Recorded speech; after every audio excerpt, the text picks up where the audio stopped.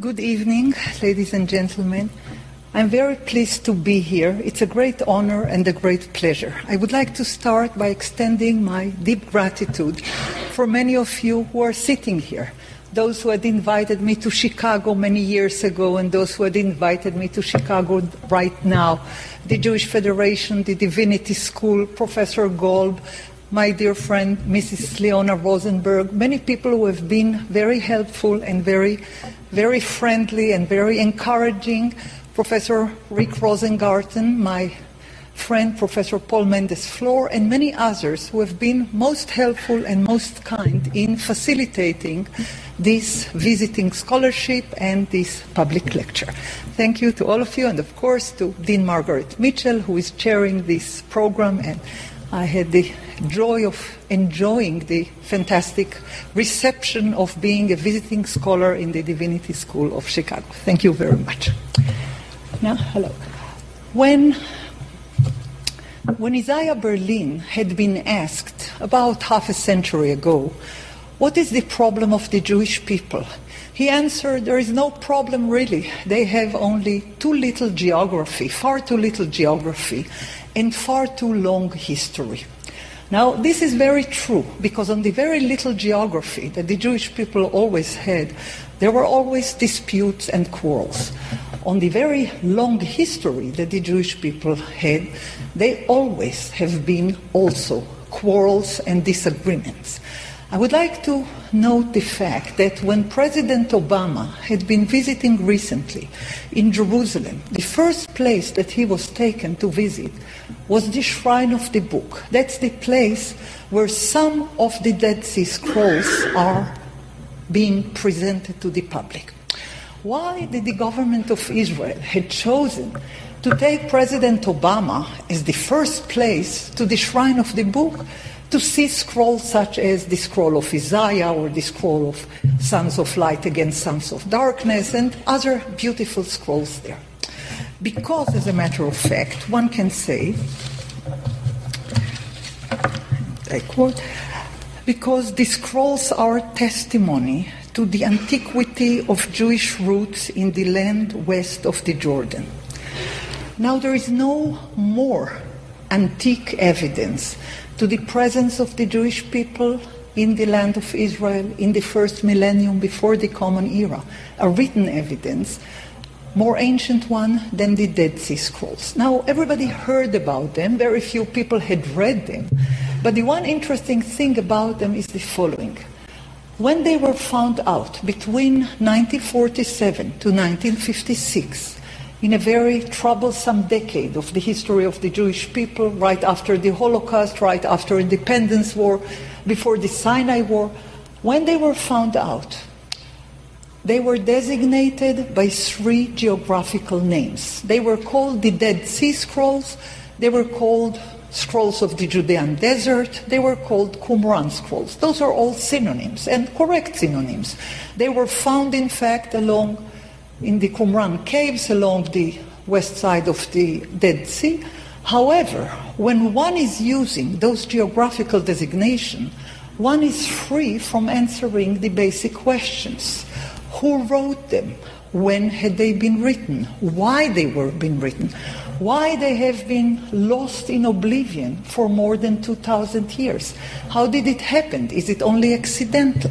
Because, as I said, when you use the geographical designation, you miss the issue.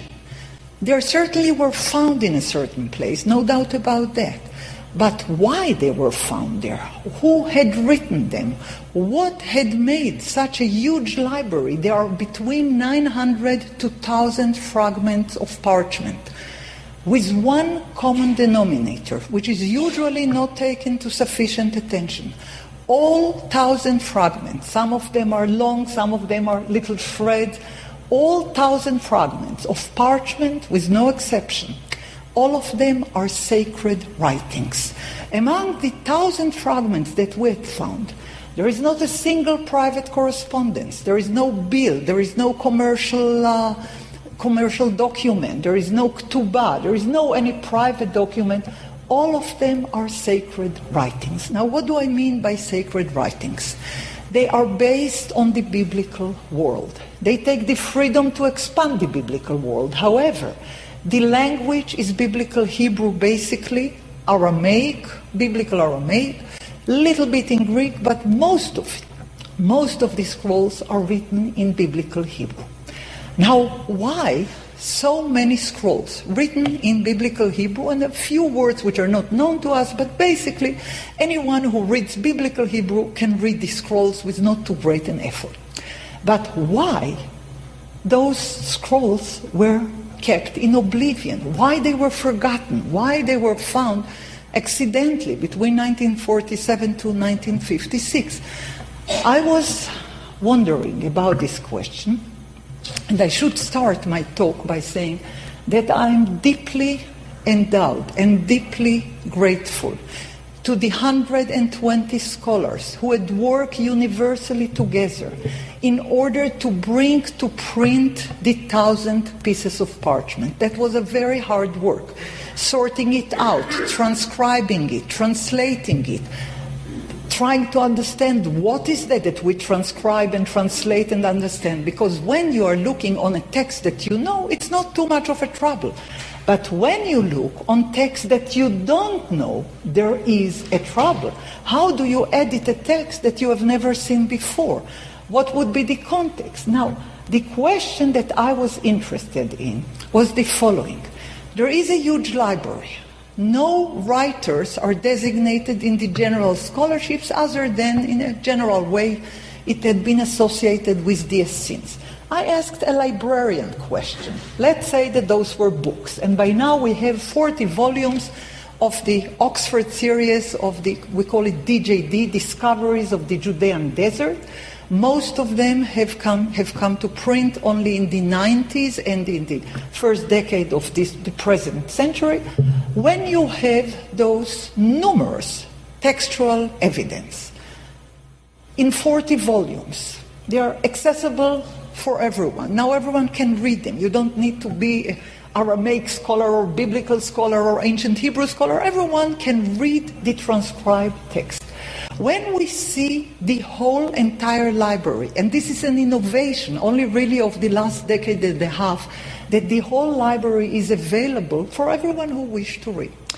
I asked a question of a librarian. How would I divide it? What would be the general division? Very general, not, you know, if you have thousand texts, you cannot divide it to thousand you ask yourself, what are the common denominators of groups of text? How would I divide it in a very general way?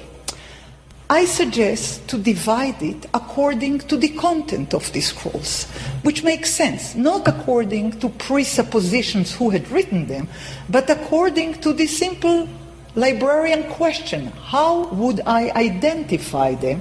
How would I describe them? To which shelf should I put them? I suggest to divide them to five major shelves. Now, each one of those shelves could have under divisions, but in general, when we ask what do we have when we talk about those thousand pieces of parchment, some of them are in length of a Torah scroll, some of them are tiny as are very tiny, less than one page, but we do have thousand different, about thousand different pieces of parchment. How should we group them? Now, I'll start from the obvious and known to the unknown. I would suggest to divide them to five groups. The first group is the biblical library. Now, we were fortunate enough to find testimonies in parchment, on parchment, of the whole entire biblical library. Whenever I say Bible or biblical, I mean only the Old Testament. The 24 books in the Old Testament, we found 23 of them among the Dead Sea Scrolls. The book of Esther is not found, and probably for a good reason, and I'll discuss it later. However, all other 23rd book out of 24 books of the Bible are there. Not exactly always with the same tradition, with the same textual tradition that we are acquainted with. There are some slight differences. Some books are more variegated than the canonical biblical tradition. However, if we look on that in general, we can say that the people who put those, the scrolls in the caves had access to the whole entire biblical library. And remember, the Bible was written along a millennium before the Common Era, but had been canonized in a final version only after the destruction of the temple. The Bible was written on scrolls, not as one book, but on scroll. The scroll of Jeremiah, this scroll, the scroll of Isaiah, the scroll of Genesis. We found remnants of all the books of the Bible with the exception of the scroll of Esther. Why is that? The scroll of Esther does not have the name of God in it. That's a good idea. That's a good reason not to include it. Because all other biblical books have direct or indirect reference to the divine word or to the divine authority or to the divine revelation. The book of Esther does not. In a library that all, it, all what it has, all what it contains, could be defined as sacred writings, a book without a divine reference is not a sacred writing, thus would not be included. I would skip very closely on the biblical part because you're familiar with the biblical part. I'll say that anyone who is doing any work on any single biblical book among the 24 books of the Old Testament would do very wisely to consult the Qumran edition of the Bible of the Scrolls because it has beautiful little and big differences which shed fantastic light. More than that, after we said that about one fifth of the collection is biblical books which offer very interesting textual renditions, very interesting textual traditions which were not known to us before the scrolls were found. Like, for instance, we have the scroll of Isaiah, close enough to the biblical tradition. But we have another scroll of Isaiah which have meaningful differences. Now, what is the meaning of those meaningful differences? It means that different communities had different recensions of the Bible. There was not only one canonical scroll of Isaiah, there were more than one recension. This is very interesting to us. We didn't know it. We knew, of course, about the Septuaginta, we know about the Samaritan version, but we didn't know that there were other versions in Hebrew which are not exactly as the biblical tradition. Now, put the biblical part aside because this is the known one and that's the easiest one. I would like to go to a next group which is partially known. It is called para biblical writings. We know about that in a vague way. We were familiar with collections known as pseudoepigrapha or apocrypha, in which books such as First Enoch or Jubilees or Testament of the Twelve Tribes were transmitted in various lingual traditions from antiquity to modernity. We didn't know their Hebrew origin. We never had access to the Hebrew origin of the Book of Jubilees to the Aramaic origin of the Book of Enoch, we were fascinated to find the origins of the pseudo-epigraphic literature in Hebrew and Aramaic among the Dead Sea Scrolls. We didn't know about their existence. We suspected there once upon a, a time there was such a book, but we didn't have access to the origin. Now, that is easy to understand because the Book of Jubilees, the Book of Enoch, the Testaments of the Twelve Tribes were known to us before the Dead Sea Scrolls were found. However, here comes a whole other group of books which was utterly unknown to us. We call it, as I said, para-biblical, and it is based on the following principle. You may take any figure from the Pentateuch and tell about him an elaborated story. Let's say we're all familiar with Enoch from, or from Noah, or from Enoch, or from Levi, from the Pentateuch.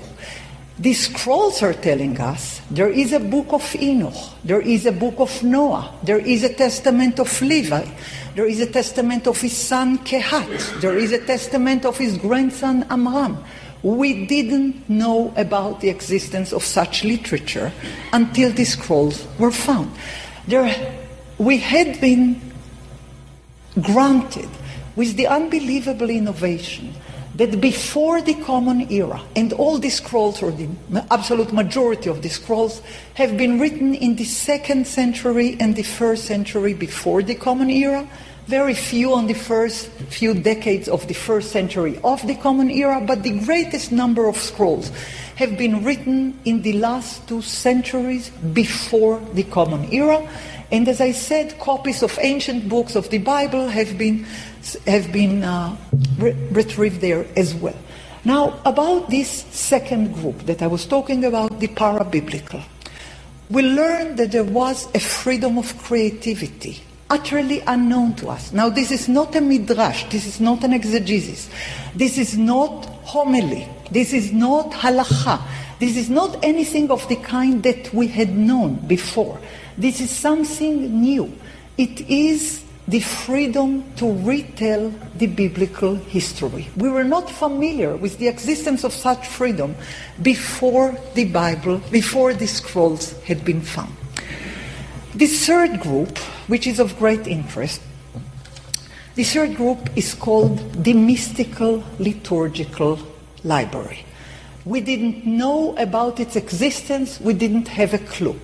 Books such as Songs of the Sabbath Sacrifice, which are beautiful, beautiful angelic Hebrew. Please note the angels above us reading books. They're doing exactly what the angels are described in the Dead Sea Scrolls. They are always reading, teaching, chanting, officiating in a heavenly sanctuary. However, this part of the library, mystical liturgical work, with names like Hodayot or Thanksgiving, with names like blessings, with names like the uh, songs of the Sabbath sacrifice were utterly unknown to us. And they were not found in one copy. They were found in many copies. There are like 13 copies of the songs of the Sabbath liturgy. There are quite a few copies of the Thanksgiving scroll. There are numerous copies of the Psalm scrolls, which include much more Psalms than those which are known to us.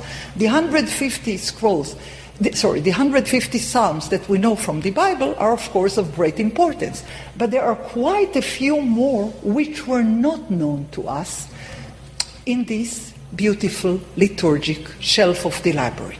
Now, I called it mystical liturgical. What does it mean, mystical?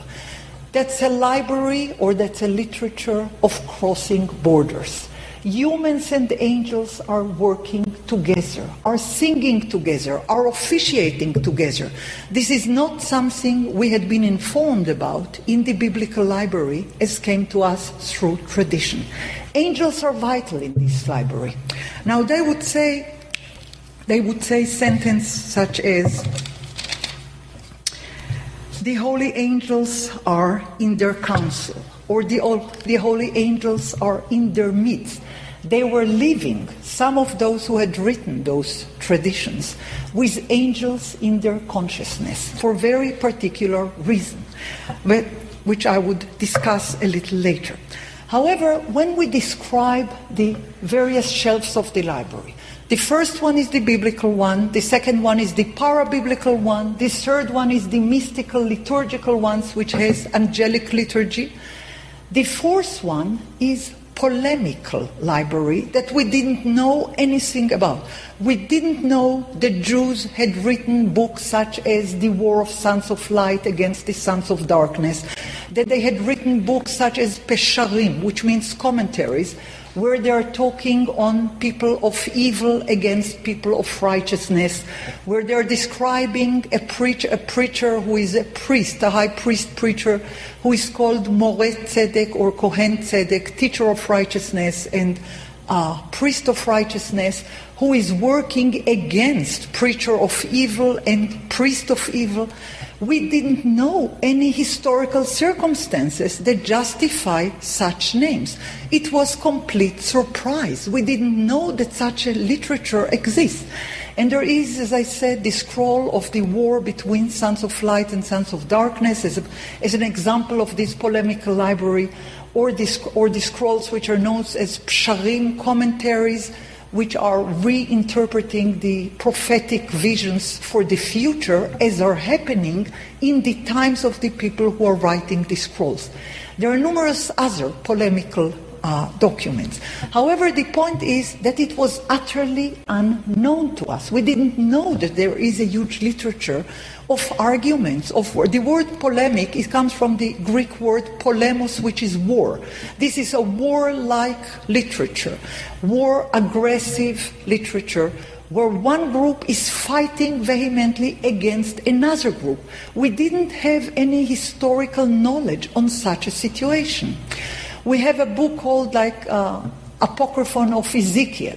It is said there in Hebrew, על כן התקרא ישראל על התורה ועל הברית. Thus the people of Israel have been torn, have been shred on the covenant and on the law. We didn't know about it. There is not a single historical clue telling us before the Dead Sea Scrolls were found that there was a horrible reef, that there was a rapture, that there was a war. We didn't know about it. So it just teaches us, it just, just sort of, uh, we can learn from that, that history is ocean of oblivion with islands of knowledge. We had found a new not only island, we had found a new continent which was utterly unknown to us. Before that, we had the book of Maccabees, not in the Hebrew canon, in Greek. In the Greek uh, canon, we had some sort of pseudo-epigraphical books in Greek, in Latin, in Ge'ez. We had, ver- we had the book of Ben Sira, a very interesting book in Hebrew and Greek. However, we didn't know anything of all what I've been talking about from a literature that had been written in the, in the two last centuries before the Common Era. Now, the fifth part, which is of great interest, it is called, we can call it a sectarian literature, although I reserve uh, the use, I, I use this word with reservation. Because when you say sectarian, you suggest that there is a center somewhere that one is dissecting from. However, when one is looking on 175 BCE or on 110 BCE or on 90 BCE, where is the center of the Jewish people exactly? Who is the formal leader of the Jewish people in the second century BCE? Is there a consensus of such historical leadership? No, there isn't. There has been no consensus on the leadership of the Jewish people in the second century BCE, in the first century BCE. It had been a time of turmoil. It had been a time of con- considerable historical changes. I would say that in one, two sentences for the sake of brevity. In 175 before the Common Era, King Antiochus Epiphanes, the Seleucian king, had conquered the land of Israel and had imposed his idea of what was called bureaucratical order. He wanted to nominate his people in the temple because the temple was a place where sacrifices were offered for the sake of the king, not the Jewish king, for the sake of the ruler, according to the perception of Antiochus. He wanted to collect taxes in relation to ceremonial things in the temple. He wanted to organize the kingdom according to one calendar, a lunar calendar of the Greek Empire. That was their calendar for years and years. When he approached the Jerusalem temple and he had ordered the officiating priest, Jason III, to officiate according to a new lunar calendar, the high priest had refused and he said, We will do everything you want, but we cannot officiate the temple according to a lunar calendar because we have a different system. The book of Daniel, chapter 7, is telling us in an illusory way, in elusive way, the, the uh, revolution that had occurred in the days of a king that wanted to change laws and times, to change calendars and customs of days of gone by. However, to make a long story short, before King Antiochus Epiphanes, that's Antiochus IV, had conquered Jerusalem and had imposed a new lunar calendar, for a thousand years, nearly a thousand years, there had been another system, not a Seleucian system. It was the, it was the temple in Jerusalem. Now, we don't know much about it more than it's written in the biblical historiography. We know about the temple from the time of David, we know about the temple from the book of Kings, from the book of Chronicles. We have quite a lot of tradition about the temple, but we don't know quite a few details. the Dead Sea Scrolls telling us new things about the temple. They are telling us that the temple was arranged according, the temple worship was arranged according to a solar calendar. I don't wish to pass a verdict whether this is a historical truism from the days of David or whether this is a projection from the time of the people who had written these scrolls. I don't know. I would just say that in the Dead Sea Scrolls, we have numerous documents who are talking about solar calendar, of pre-calculated calendar emerging uh, Uh, commencing in the spring. While the Jewish calendar, known to all of you who are following the Jewish calendar, is starting in the autumn. The current Jewish calendar is starting in the autumn, in the month of Tishrei, while the biblical calendar states explicitly that the calendar starts in the spring. In the book of Exodus 12, we are told that the calendar is commencing in the month of the spring, the first month of the year, where the year is starting as a divine declaration of the beginning of freedom, of the epoch of freedom. It is given up in the time where the story of the departure from Egypt, the exodus from Egypt, to- towards the way to become a free nation. Then there is a calendar introduced, and it is said this month, the month of the spring, is the head of the year or the first of the month you would always start to count from the first month. Now, the Jews of today are counting according to a different calendar, starting in the month of the autumn, in the seventh month. We start the year by a holiday called Rosh Hashanah. There is no such holiday in the Bible.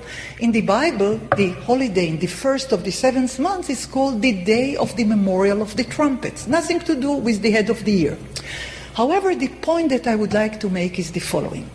The people who had written the scrolls, and it was not one person and it was not one group, those were many hands and those were many people and many books. However, when one is looking on the following question, after we know that there are five kind of shelves, the biblical, the parabiblical, the mystical liturgical, the polemical, and the sectar- sectarian one. The, sectar- the sectarian one is those that define themselves as members of the covenant against others who are departing from the covenant. When we have those five shelves of different literature, we ask ourselves is there any common denominator to all those various shelves? Is there one topic which is recurrent in the very different type of literatures which have been written by different hands and in different times? The answer is yes. There are a number of issues which are recurrent in different in different literary genres by different authors, written in different periods. And the one which is most striking is the presence of a solar calendar, a calendar which the writers ascribe to a mythical ancient past. The people who had authored the book of First Enoch, it's called the Ethiopian Enoch because it was first known to us in the language of Ge'ez, which is an Ethiopian uh, language, Semitic Ethiopian language in the book of Enoch, chapter 72 82, is telling us in great detail on the calendar of 364 days. In the book of Psalms that had been found in Qumran, entirely different genre, you know, Psalms. In the extra Psalms, those which are not known to us in the Bible, in the Psalm scrolls in the, which is presented in the shrine of the book, in column 27, we are told that David king of Israel, the one who had been described as wise and as poetically gifted and as a prophet, according to this scroll, had authored 364 daily songs for each day of the year. He further had authored 52 sacred songs for every one of the Sabbaths of the years. He further authored 18 special songs for the holidays of the year.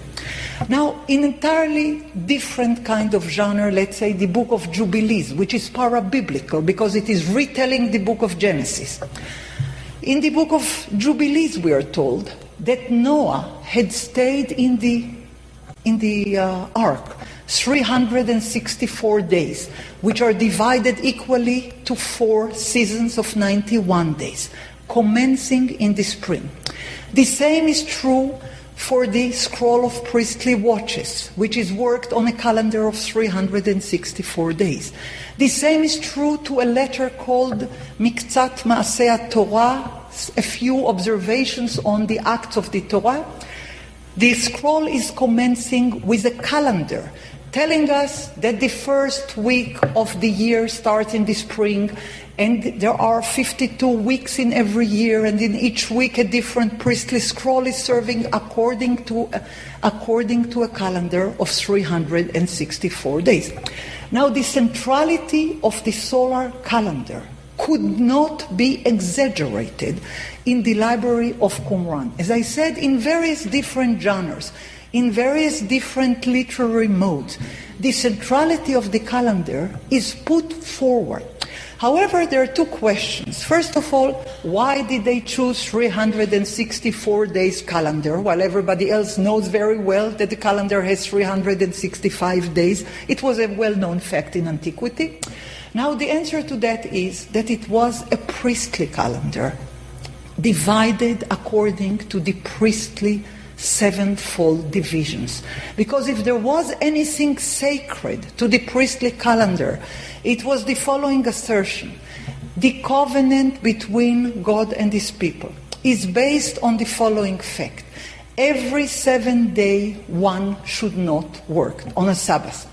Every seven holidays of the first seven months of the year, one must refrain from work according to the biblical law.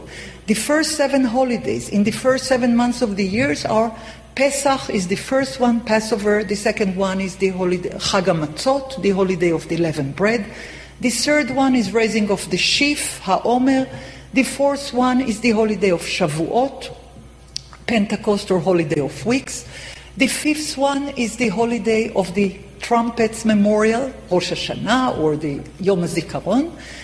The sixth one is the Day of Atonement, Yom Kippurim, and the seventh one is Sukkot, the holiday of tabernacles.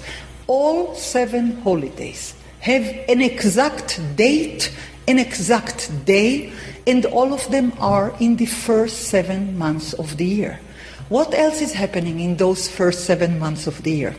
The seven species that the land of Israel is blessed with are all growing in the first seven months of the year.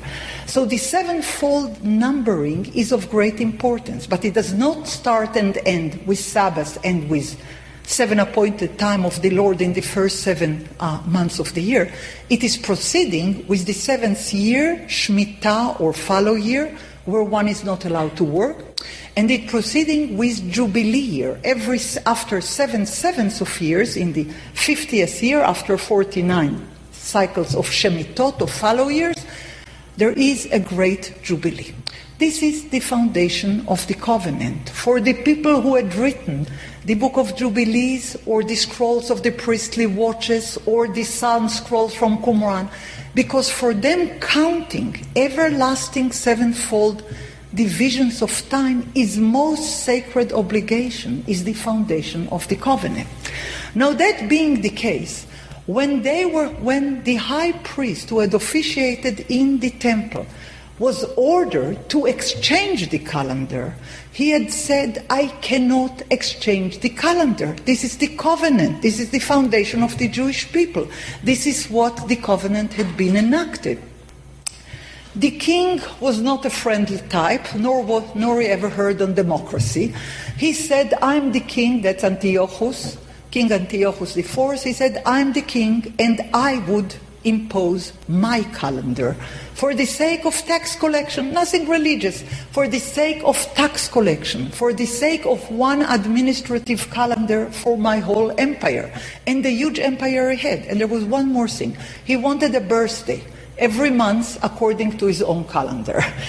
Ptolemy kings had this right. They could have a birthday every month, not like us who have it every year. Schürer had written about it many years ago when he wrote about the Seleucian kings.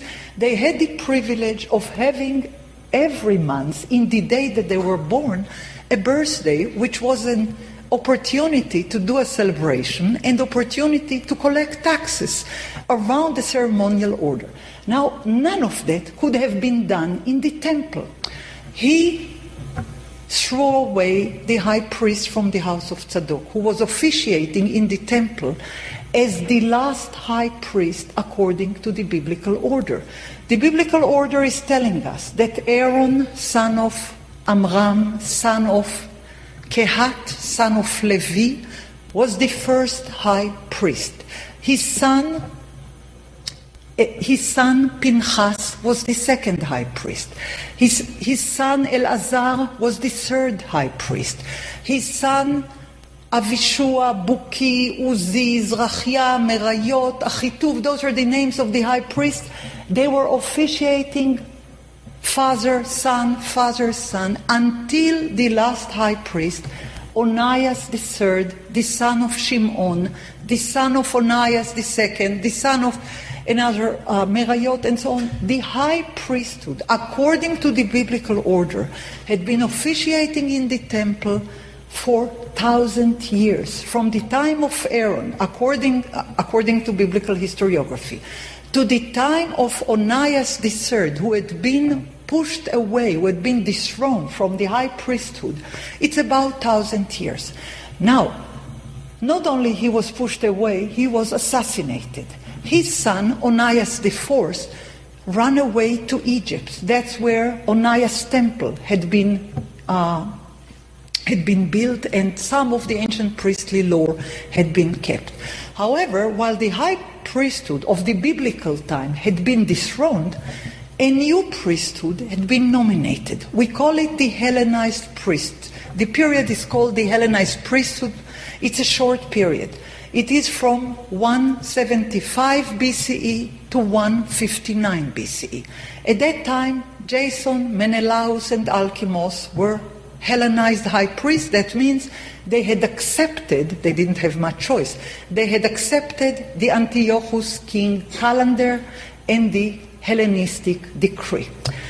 A group known as Hashmoneans had came forward and started a war about 167 before the Common Era. It lasted until 164. When the war was over, there were no more Hellenized priests, but there was, lo and behold, a whole new priestly dynasty. It is called Maccabean or Hashmoneans, it's all the same. This is a group which have nothing to do with biblical priesthood. This is the bridge, this is the rift, this is the background where the Dead Sea Scrolls were written. Because what was biblical Israel until about 164 before the Common Era, that's when Dan, the book of Daniel had been written, when it was biblical Israel until the high priesthood had been destroyed and three, uh, three Hellenized priests were officiating. The first one was direct connection with the ancient high priesthood. The second one was not connected at all. The third one was not connected at all. However, as I said, the Hashmoneans, who were from the priestly tribe, waged war. They had fought against the Hellenized priests, They fought against the king Antiochus and they managed to a certain degree to succeed. However, not all the way through. They were nominated afterwards by the heirs of Antiochus. Alexander Balas and Demetrius were the two heirs of Antiochus who were fighting. And the Hashmoneans, who were warriors, offered help to the powers, to the military forces of one heir of Antiochus, Alexander Balas, and others offered some help to the other heir of Antiochus, Demetrius the first and or the second. They were fighting those two kings. Once Alexander Balas had the upper hand, he had nominated Jonathan the Hashmonean to be a high priest. He was not from the high priesthood. He was not from the sons of Tzadok, the high priestly family, which was the only one that had officiated as high priest according to biblical Israel.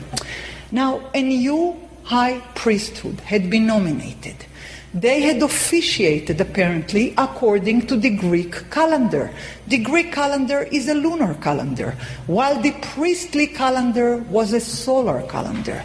The Greek calendar was used was based on human observation on the moon, changing calendar according to the day that the moon is rising. The solar calendar, the ancient solar calendar, according to the historiography of the scrolls, that had been composed by Enoch, son of Jared, in the seventh generation of humanity, who had been taught from the angels, who had been taught to read and write from the angels, who had been taught to calculate from the angels when he spent many years in heaven. On him, Enoch is the one on whom it is written in the book of Genesis and Enoch walked with God, and then he was not because God had taken him up. Now, this is a very strange sentence in the book of Genesis, chapter 5. It is extremely unusual in a line of people on each one of them it is told who had gave birth to them to whom they had gave, had gave birth how many years they had lived on enoch is the only one on whom it is said Enoch had walked with God and then he was not because God had taken him. So Enoch didn't die. This Enoch, according to the book of Enoch, according to the first book of Enoch, the second book of Enoch, the third book of Enoch, and not all of them in Qumran, only the first one is in Qumran, and according to the book of Jubilee from Qumran, he is the one who had brought this 364 days calendar from heaven. This is the myth of the calendar claiming a very ancient origin to it. Enoch had stayed a year on earth after he had spent many, de- many decades on heaven. He spent a year on earth to teach his son Methuselah, the calendar, who had taught it to his son, who had taught it to his son. This is the ancient calendar of the ancient priesthood, the pre diluvian priesthood. According to the Dead Sea Scrolls, there have been a high priesthood of the pre-Diluvian time. The last one is Melchizedek. He was taken to heaven to keep the calendar there. According to them, Abraham had met Melchizedek in the days of Abraham. He is known as Kohen Le'el Elyon, Melchizedek, the high priest for a high God, and he was granted the knowledge of the ancient priestly writing. Now, it is a myth. It is beyond what the Bible is telling us. But for the people who had written the Dead Sea Scrolls, the myth of the calendar was of paramount importance. Nothing could be more important. So Enoch had brought it from heaven, as it is delineated in the book of Enoch.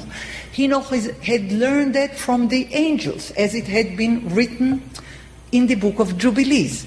Enoch is considered to be a priest of righteousness, as it is written in some of the Dead Sea Scrolls, and numerous other things about him. He was the first person who had learned to read, write, and calculate. He was the first person who offered incense. He's the one who inaugurated the temple worship in heaven. And there are numerous other stories to that effect, talking on the ancient origin of the calendar of 364 days, of 52 weeks, of pre calculated, precise order. Now, the people who had believed in this pre-calculated solar calendar had believed that this is one non-negotiable issue, absolutely non-negotiable. They left Jerusalem. They took with them, at a certain point, we don't know exactly when, they took with them scriptures from the temple library. It was theirs. They were officiating in the temple for years and years and years. They continued to write. They elaborated on the biblical tradition. They expanded on the biblical tradition. And when we ask ourselves, after we make like a very broad view on the thousand par- pieces of parchments, which are constituting hundreds of books, what do they have that we don't? What is ex- what is explicit to us while one is reading the Dead Sea Scrolls, which is not known to us in other historical writings before or after the uh, before or after the Common Era. Number one, number one generalization would be that most of the scrolls are engaged in holy time, in holy place, in holy memory, and in holy ritual. In one way or another, each one of the scrolls is engaged in holy time relating to the calendar, in holy ritual referring to the priests who are officiating according to the ancient sacred ritual of 52 Sabbaths and 364 days, as it is detailed in the scrolls of the priestly watches, as it is explained in the temple scroll. So if the first one is holy time, calendar, if the second one is holy ritual, priestly ritual in the temple, the third one is holy place. The holy place, according to the scrolls, is Jerusalem, Mount Zion. Let me draw your attention to the fact that Jerusalem is not mentioned in the Pentateuch directly even once. Jerusalem is first mentioned in the book of Joshua by the name of it. This is a fact that people usually don't pay attention to. In the Pentateuch, Jerusalem is not mentioned. In the Dead Sea Scrolls, recensions of the books which correspond to the Pentateuch, Jerusalem is in the forefront. In the book of Jubilees, retelling Genesis, Jerusalem is mentioned three times in the first chapter of the book of Jubilees, so nobody could skip it. Now, what is it about Jerusalem? God is saying, whether directly or through an angel, that he had chosen Mount Zion in Jerusalem to be the holy place where he would like to dwell. It is mentioned in numerous places. Jerusalem is celebrated in the scrolls which were not known to us. Jerusalem is celebrated in a scroll known as New Jerusalem. Jerusalem is celebrated in the book of Jubilees and various other texts. The question is why Jerusalem is not in the canonical recension of the Bible. Now, holy place has two dimensions. One is the earthly one, geographically, Jerusalem, Mount Zion. The other one is the heavenly one, seven heavenly sanctuaries corresponding to Mount Zion and to the temple on it. On earth, we have one temple with one divine chariot of the cherubim in it. In the scrolls, such as in the songs of the Sabbath liturgy, there are seven firmaments. There are seven sanctuaries, there are seven temples, and seven chariots of the cherubim. Now, in the mystical writings, you multiply by seven what had been lost on earth.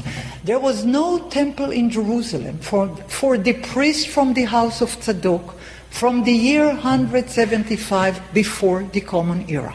After the last high priest, Onias III, had served there and have been dethroned in 175 BCE, their only temple was in paradise, in heavenly sanctuaries, when they correspondingly with the angels were officiating. A huge amount of literature among the Dead Sea Scrolls is engaged with the angels. Why? The angels are called in a very interesting name, very suggestive name. For Hebrew speakers, they are called Kohanei Korev, the angels, which means priests of sacrifices. The angels are designated as priests of sacrifices. Now, they don't sacrifice animals as they did in the temple, they sacrifice incense and liturgy. The order of the sacrificial liturgy corresponds to the order of the sacrifice in the temple. And a song like songs of the Sabbath liturgy is corresponding to the Sabbath offering in the temple as were designated according to the biblical order of the sacrifices. So, whatever the priests were doing on earth and were not allowed to do anymore, those who were associated with the house of Tzadok, is being done in heaven by the angels. So, for them, the priestly worship, which is eternal, the eternal cycles of Sabbath, Jubilees, appointed time of the Lord, fallow years, is carried on in heaven by the angels who are working according to the cycles of the calendar. So, what was lost on earth is perpetuated in heaven.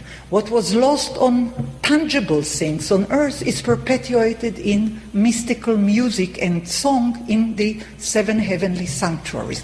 Now those are different kind of literature.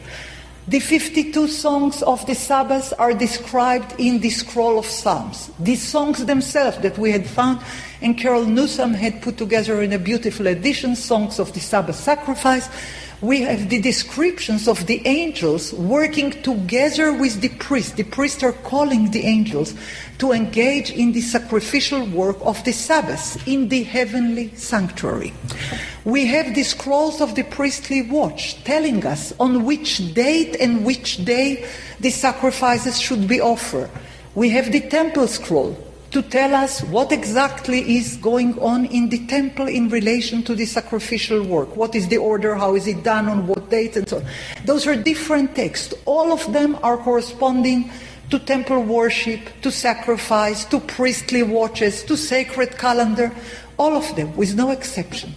Now, if I said there are about four or five distinctive things which are common denominator to most of the scrolls. One of them is solar calendar, sacred calendar of 364 days. One is holy place, Jerusalem, Mount Zion. One of them is angelic presence corresponding to priestly temple worship. And one of them is one of them is sacred memory, which relates to the beginning of the priesthood. In Qumran, you begin the priesthood with Levi and not with Aaron, his grandson. You start the ancient pre-Diluvian priesthood with Enoch. You end the pre-Diluvian priesthood with Melchizedek. We found the Melchizedek scroll in Qumran. He is an angel priest. There are numerous angels. Now, the interesting thing is as follows.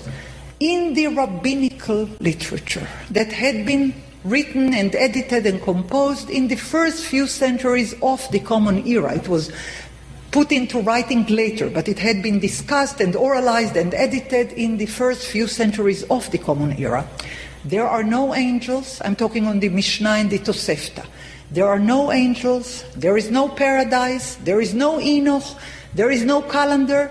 All what was so important for the priests is utterly unknown in the early stratas of rabbinic Judaism. Now, to step one step backwards. I said that angels are present in each one of these, each section of this literature. In the War of Scrolls of time of, of uh, in the war, sorry, in the scroll of war of Sons of Light against Sons of Darkness, the angels are conducting the war. The priests are fighting with horns. They don't have any kind of, uh, they're not really fighting as soldiers. They are fighting with horns, with trumpets, with musics, with angelic names. It is a mystical war. It's not an earthly war. Why do they call themselves sons of light? Because they believe in the solar calendar. Why do they call their opponents sons of darkness? Because they believe in the lunar calendar. So it was a calendar war more than anything. But the calendar was the basis of the covenant for people who believed in the biblical era in the biblical order, in the sanctity of the biblical priesthood, in the sanctity of the temple worship, all what constituted ideal biblical Israel. I don't say that that was the real order, I say that was the ideal order. Now, at 175 BCE, when the priest of the house of Tzadok had been deposed and disrobed, they left Jerusalem at a certain point and took with them their library. That was the only thing they were allowed to take because you were not allowed to take anything of the temple materials or anything of the temple objects. They were sacred and they were not to be touched or living outside of the temple in any manner. The one thing which was not restricted according to any biblical law was the books in the temple library. We know from the father of Antiochus, Antiochus the Great, that he gave exemption for the authors of the exemption for the scribes of the temple from a particular taxation. We know that there was a temple library and there was a temple, uh, there were temple scribes. Apparently, they took the temple library. There was no greater public library in Jerusalem. And what we had found in Qumran is first and foremost a huge library, which is composed of various things. But let's assume that the biblical scrolls, the huge amount number of like 270 biblical scrolls of the, 24, the 23 books of the Bible, were found in Qumran not the things that they had written there, basically things which had been in the temple library and were taken out. They continued to write all the various things that I talked about. And when I say that they were interested in holy time, in holy place, in holy ritual, in angel priestly common worship, in holy sacred memory, I would like to ask what is the word that I had used most frequently priestly. It is priestly awareness, it is priestly memory, it is priestly interest. However, most of the scholars who have been working on Qumran suggested from the very beginning of the scholarship in the early 50s to associate it with the Essenes. The Essenes are not known in the Hebrew language. The Essenes are first introduced to us in the writings of Philo from Alexandria. He's talking on wonderful people, four thousands of them, who are living all around the land of Israel, when the measure of goodness and or virtue had been spread all around. Well, I wish to know where exactly Philo was traveling, where he saw all these good virtues, because of what we know in the first century of the land of Israel around the time of Jesus, around the time of the rabbis, around the time of the Pharisees. It was definitely not exactly virtuous, to say the least, but Philo said that 4,000 of them are living all around the land of Israel. Philo had written in the first half of the first century of the Common Era. The second testimony about the Essenes is Pliny.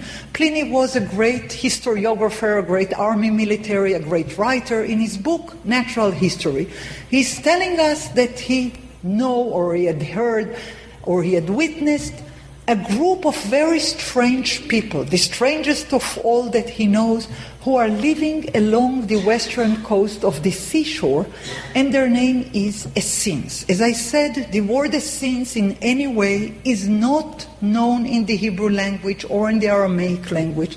But Philo is telling us that they are living for thousands of generations, surprisingly, celibate life with no women and with no children. Philo says the same. They are monks, they are celibates.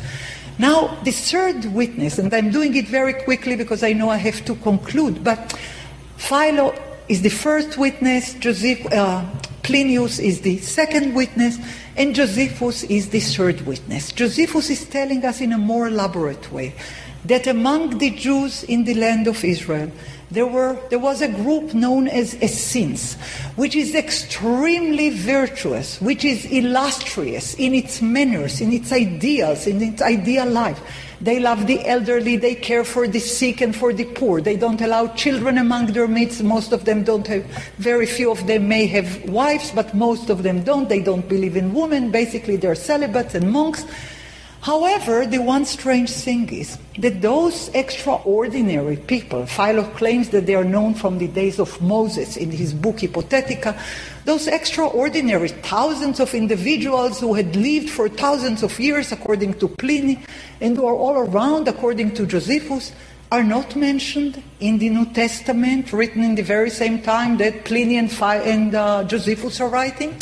They are not mentioned in the Mishnah, they are not mentioned in the Tosefta, they are not mentioned in the Dead Sea Scrolls, they are mentioned only in Greek and Latin in Philo, Josephus, and Plinius.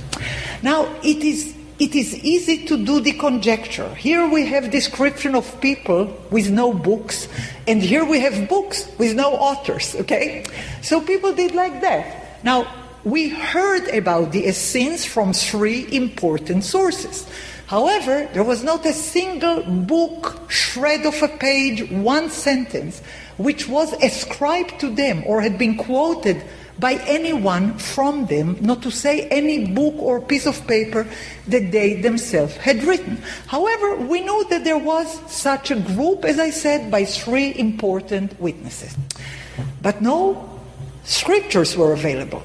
On the other hand, between 1947 and 1956, thousand scriptures of unknown kind had been found out in Qumran, along the Dead Sea.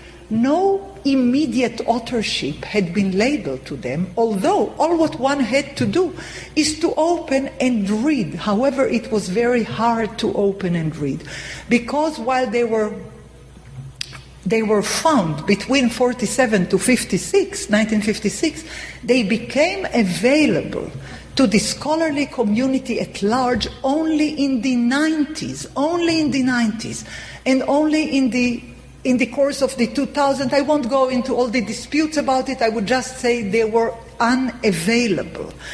Only few could have read. Those who have read them said, but it is written the priests of the house of Tzadok and their allies in endless places. It is about temple, it's about the Zadokite priests, it's about biblical Israel, it's about sacrifices, it's about priests and angels, it's about the 12 children of Jacob, it's about the covenant of the Bible.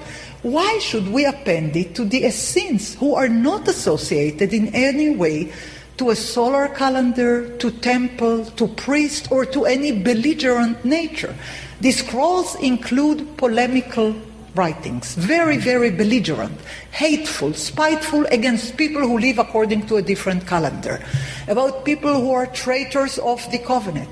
None of that is even hinted in relation to the Essenes. However, history of scholarship was that at the first two decades of the scroll scholarship, Jewish scholars were not allowed, according to the Jordanian uh, government that had the scrolls in Jerusalem from 1948, when East Jerusalem had become Jordanian territory, until 1967, when Jerusalem had been reunited or conquered or freed or liberated, depends on the way that you see it. However, Jerusalem, East and West are combined.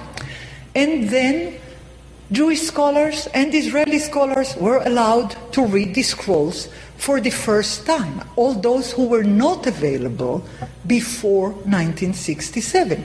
However, in the many years that had passed from early 50s, where first scholarship was uh, available until the end of the until the end of the 80s, which really scholarship went back into fruition, it was common that the authors were monks who were called Essenes, who were living celibate lives in a celibate place in the desert. Now, we don't know where the authors of the scrolls lived. We have no idea.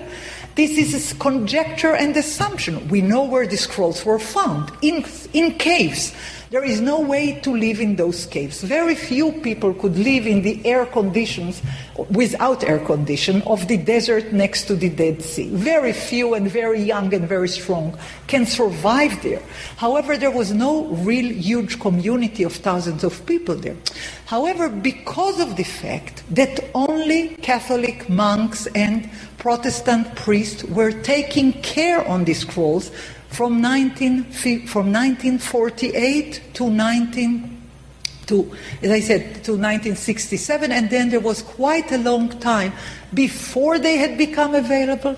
It had been stabilized and asserted that the Essenes are part of the scrolls, and the scrolls are part of the Essenes, while this is not really true, because the scrolls don't have the name Essenes in any way, while it has numerous times the priests of the house of Tzadok, the children of Aaron, the associates of Moses. They have biblical Hebrew, they have biblical concept, but they were associated with the Essenes because the monks who were doing wonderful work, assembling the pieces of the scrolls in the Rockefeller Museum, envision the writers of the scrolls as ancient monks who were living celibate life. Now, we don't know anything like that. We are not told that the writers of the scrolls are celibates. They are talking on women, they're talking on children, they're talking on family life. There is no reason to assume that all the writers of these scrolls were monks. However, history of scholarship has its fashions and its beliefs and its cornerstones, and ever since it had been uh, it had been defined that the scrolls are that the scrolls are primarily an Essene library.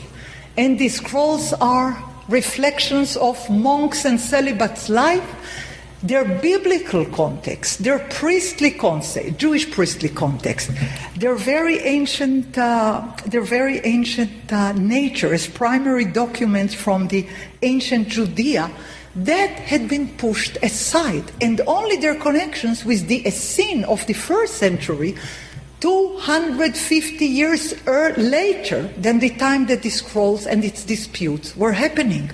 The scrolls were started to be written, those which are not biblical, after 175 BCE. To the days of Josephus, it's 250 years later. Why should we take Josephus' testimony on the Essenes to be appended immediately to the scrolls. The scrolls tell us very well what they are. They introduce themselves as the temple scroll, as the scroll of priestly watches, as sacrifices, as priestly, as priestly liturgy, as angelic liturgy. They have nothing to do with the Essenes. They have everything to do with the history of the tribe of Levi with the testament of Levi, the testament of his son Amram, the, the testament of his son Kehat, the testament of his grandson, and so on. It is saturated with priestly issues, priestly concerns, priestly language. But ever since it had been appended as Essenes, that was the corner that it had to be left. And anyone who dared to say, let us look again and see whether the overwhelming priestly concerns of holy time, holy place, holy ritual, and holy memory should be taken into consideration before the Essene theory should be taken as the only foremost consideration. That is usually accepted with great resentment. Thank you very much for your attention, and I would be happy to receive some questions.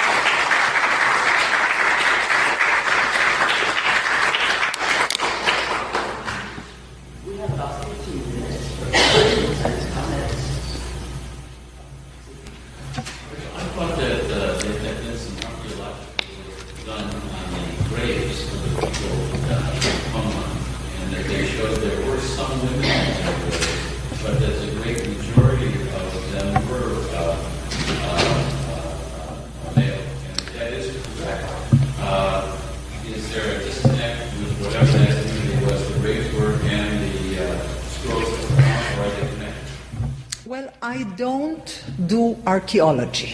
I don't decipher archaeology. I don't have any expertise in archaeology. I'll just say one thing. The community that had been burying its dead in Qumran has a big cemetery. Tiny bit of this cemetery had been dug. I don't think we're allowed to make presumptions on account of huge cemetery, which only very little of it had been. And as I said, I don't do archaeology. I'm looking on text, not on not on remains, not on stones. That's a whole science of its own. I leave it to people who are experts in archaeology. okay. Yes, please. Do you think that the, uh, the archaeological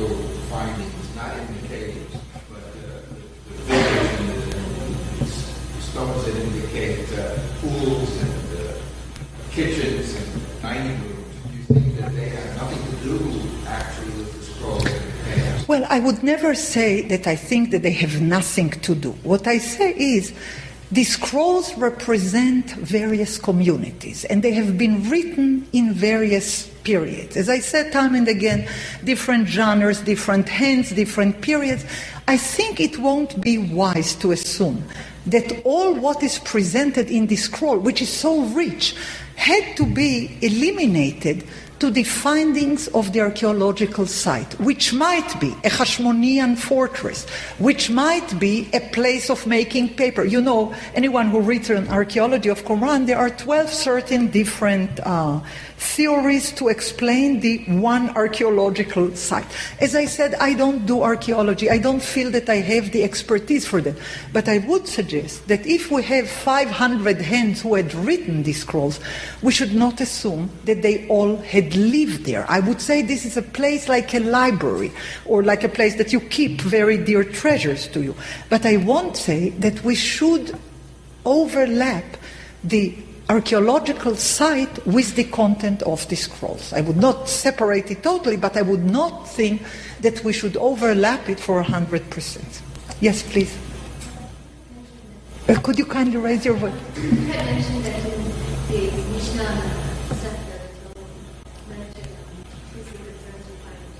No, I said there are no mention of paradise, which is very important, of Enoch, of angels, of solar calendar, and Jerusalem and Jerusalem Mount Zion as the holy place. Well, thank you for asking, so that would allow me to say the one thing that time did not permit before. Uh, after the destruction of the Second Temple, there had been a profound change of the guard. Whoever was officiating in the temple, whether it was before the Hashmonite priests for 120 years, later on Herodian priests, later on, uh, you know, the different chapters in the history of Judea in the first century of the Common Era, after that, after the destruction of the temple, everything had changed. There is no more temple and there is no more priestly service. A new group is emerging. Of course, it had all the roots, but a new group is emerging to the forefront. They are called Pharisees, which is derived from the word lifrosh lahem al pi Adonai, which means to interpret according, that's a biblical site. It is derived from the root lifrosh, which means to interpret. Okay? That they were new interpreters of the canonized law. The Bible was not canonized before the second century of the Common Era as 24 books. It had been canonized in the age of Rabbi Akiva and Rabbi Yoshua after Rabban Yochanan ben Zakkai. Those are the Pharisees, which later on had been called rabbis or Tanaim. They have various names, but the common denominator to all of that is one. They do not allow to write, they insist on oral teaching. They don't allow to create new books. They insist on new innovative interpretations of the highest profound kind. But we should say that in order to allow free interpretation, they had to canonize the Bible. So they would say, out of the various scriptures which might have been available, we chose the 24 books, 24 and no more. We know from the Talmud that there have been arguments if the book of Ezekiel should be in, if the book of Song of Songs should be in, if Esther should be in. The final 24 books of the canon were the closure of creative sacred writings or creative holy scriptures according to the rabbis. They did not allow any continuity of writing. Now, there were many books which were not chosen to be within the biblical canon, such as the book of Enoch, the book of Jubilees, the book of the Twelve Tribes, the songs of the Sabbath sacrifice, the Temple Scroll. All of them are sacred writings, with no exception. All of them are talking about heavenly issues, angelic issues, divine commandment, halachic things. However, they were excluded. Why would they exclude, be excluded? Because the rabbis, so to say, had decided that any book which is focusing on priests and angels and has any allusion to this 364 days calendar would be deemed as Sfarim Chitzonim, which means the books which are left outside, the external books. We call them in English pseudepigrapha or apocrypha, but in Hebrew it's more precise. It's the books which were left outside. They were left outside by Rabbi Akiva, who is telling us in the Sanhedrin anyone who will read in the external books, those which were left outside, has no share in the world to come. That's a very strong act of censorship. However, those books which were left outside are the books that we had found in the Qumran library. Now we know this dispute as the dispute between Pharisees and Sadducees. In Hebrew, Prushim v'Tzdokim. Sadducees are the priests from the house of Tzadok. That's all what it means, Sadducees. Later on, they had bad reputation because of their role in the New Testament, because of their fighting with the rabbis. But the priests from the house of Tzadok, who had written and who had officiated in the temple for a thousand years before the Common Era, had their own memory, had their own visual perception, had their own conceptual world, and they fought for it. The rabbi said any book with 364 days calendar, any book with priest angels, any book about Levi, about the sons of Levi, about the work of Levi, and so on, would be, of course, outside. There is no need for that for other generations. We chose those books that we believe that would be meaningful for later generation. We won't choose the temple scroll because it is not relevant, there is no more temple. We won't choose the priestly watches scroll, the scroll of priestly watches because there are no more priestly watches, because there is no more temple. So we can explain why they left them outside, but it hasn't been noted enough that all what's important to the priest is utterly put aside in the rabbinical new literature. I'll give one example to make it uh, understandable. The word covenant, brit, is one of the most frequent words in the scrolls of the in the scrolls of the Dead Sea. The covenant between God and his people, God and the priests, uh, people of Israel and God. The word covenant is a major word. The word covenant in that meaning is completely erased from the Mishnah. There is no such word anymore. So, as I said, what is central in the priestly literature is unseen or unwitnessed in the new rabbinical emerging literature. They had a new agenda. The priests were overlooked. When they describe the chain of transmission of the Torah, they don't mention this. They don't mention the priest at all.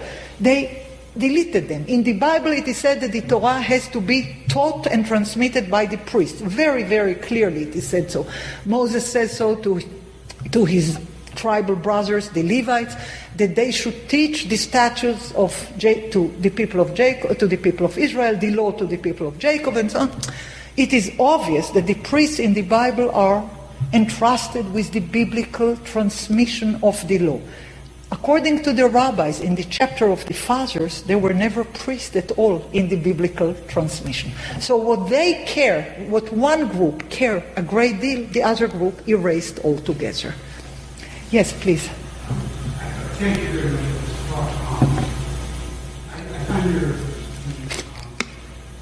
your distinction between the scrolls and the Between the what? The, I find your, differentiation between the scrolls and the EC Yeah. um, convincing. But what I don't understand, are you are you suggesting then that this that the House of Sadok, or did you just that Sadducees are then the authors of the scrolls?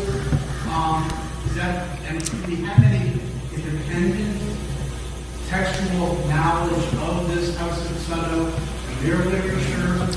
Oh, well, what I suggest is only what is written in the scrolls. The scrolls mention time and again, time and again, the priests from the house of Tzadok and their allies. Thousand times. I mean, it is mentioned time and again, time and again. The priests of the house of Tzadok and their allies. Now, I don't say, not at all, that only the Zadokite priest had written it. Of course not.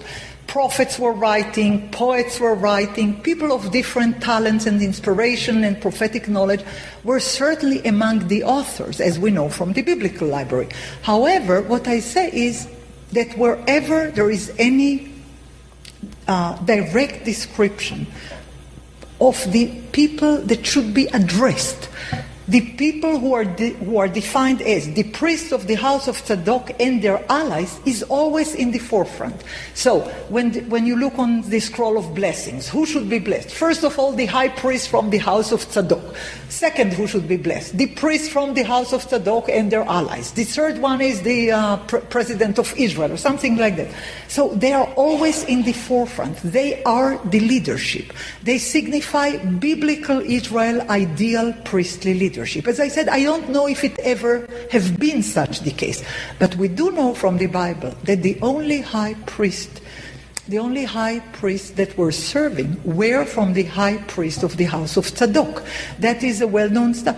When Ezekiel is talking in the last chapters of his book, 40, 48, on the future temple, he's talking on the high priest from the house of Tzadok, those which are close to God and chosen by him. No other group is described in these words.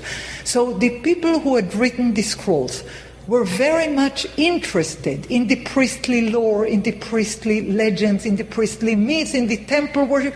That was their backbone. That was their focal, that was their focus. That was their most intrinsic interest. And we should respect it. We shouldn't say the priestly nature of the scrolls doesn't matter. It matters because it is everywhere there. We shouldn't say that this is secondary. It's not secondary, it's primary.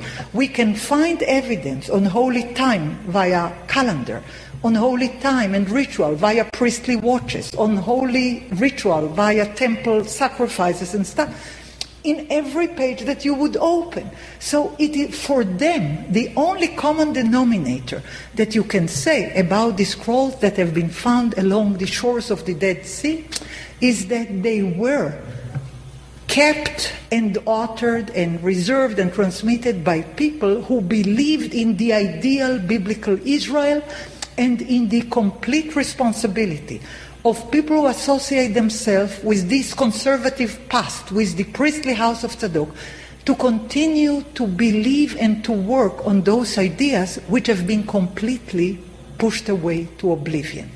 In the day that the United Nations had declared on the state of Israel in 1947, these scrolls were found in the very same day, as like a long shalom, along uh, greetings from ancient past. In the very same day where the United Nations had declared about the acknowledgement of a new state of, as the state of Israel, these scrolls were first introduced. So they were in oblivion for 2,000 years and more. They were unknown. They were certainly not the central part of Jewish memory. But I would like to respect the other memories, the alternative memory, the shreds of memory that were entered to oblivion, and yet they have, we have recovered them by a miracle, you know, by a chance. It's wonderful that they have been recovered. We should pay attention to the other memories, to the other mythologies, to the other point of interest and focus of devotion which had informed the Jewish people of the two centuries before the Common Era and of the few decades of the first uh, of the first era. I believe that we should take a lesson from there. There was never one authoritative Jewish community. There was always splinters, there was always disputes, there was always disagreement. However, if you would ask, what is the one single thing that the Jews shared always? It was their capacity to read and write. They may use it for belligerent writing, they may use it for all kind of fights, but they would always say, we have sacred writings, we have holy scriptures. We can read and we can recreate and we can comment and we can do exegesis and we can do law, but we can also do myths and mysticism. We are free people to write, although we were told by Rabbi Akiva that we should not read the external books. We had read them somewhere or another during the centuries. Many of them we were not familiar with. Now we are lucky to live in a century that they are easily available to anyone who is interested in ancient history and in the way that one, one can cross the waves of waves and turmoils of historical destiny. We'll conclude here. Thank you very much.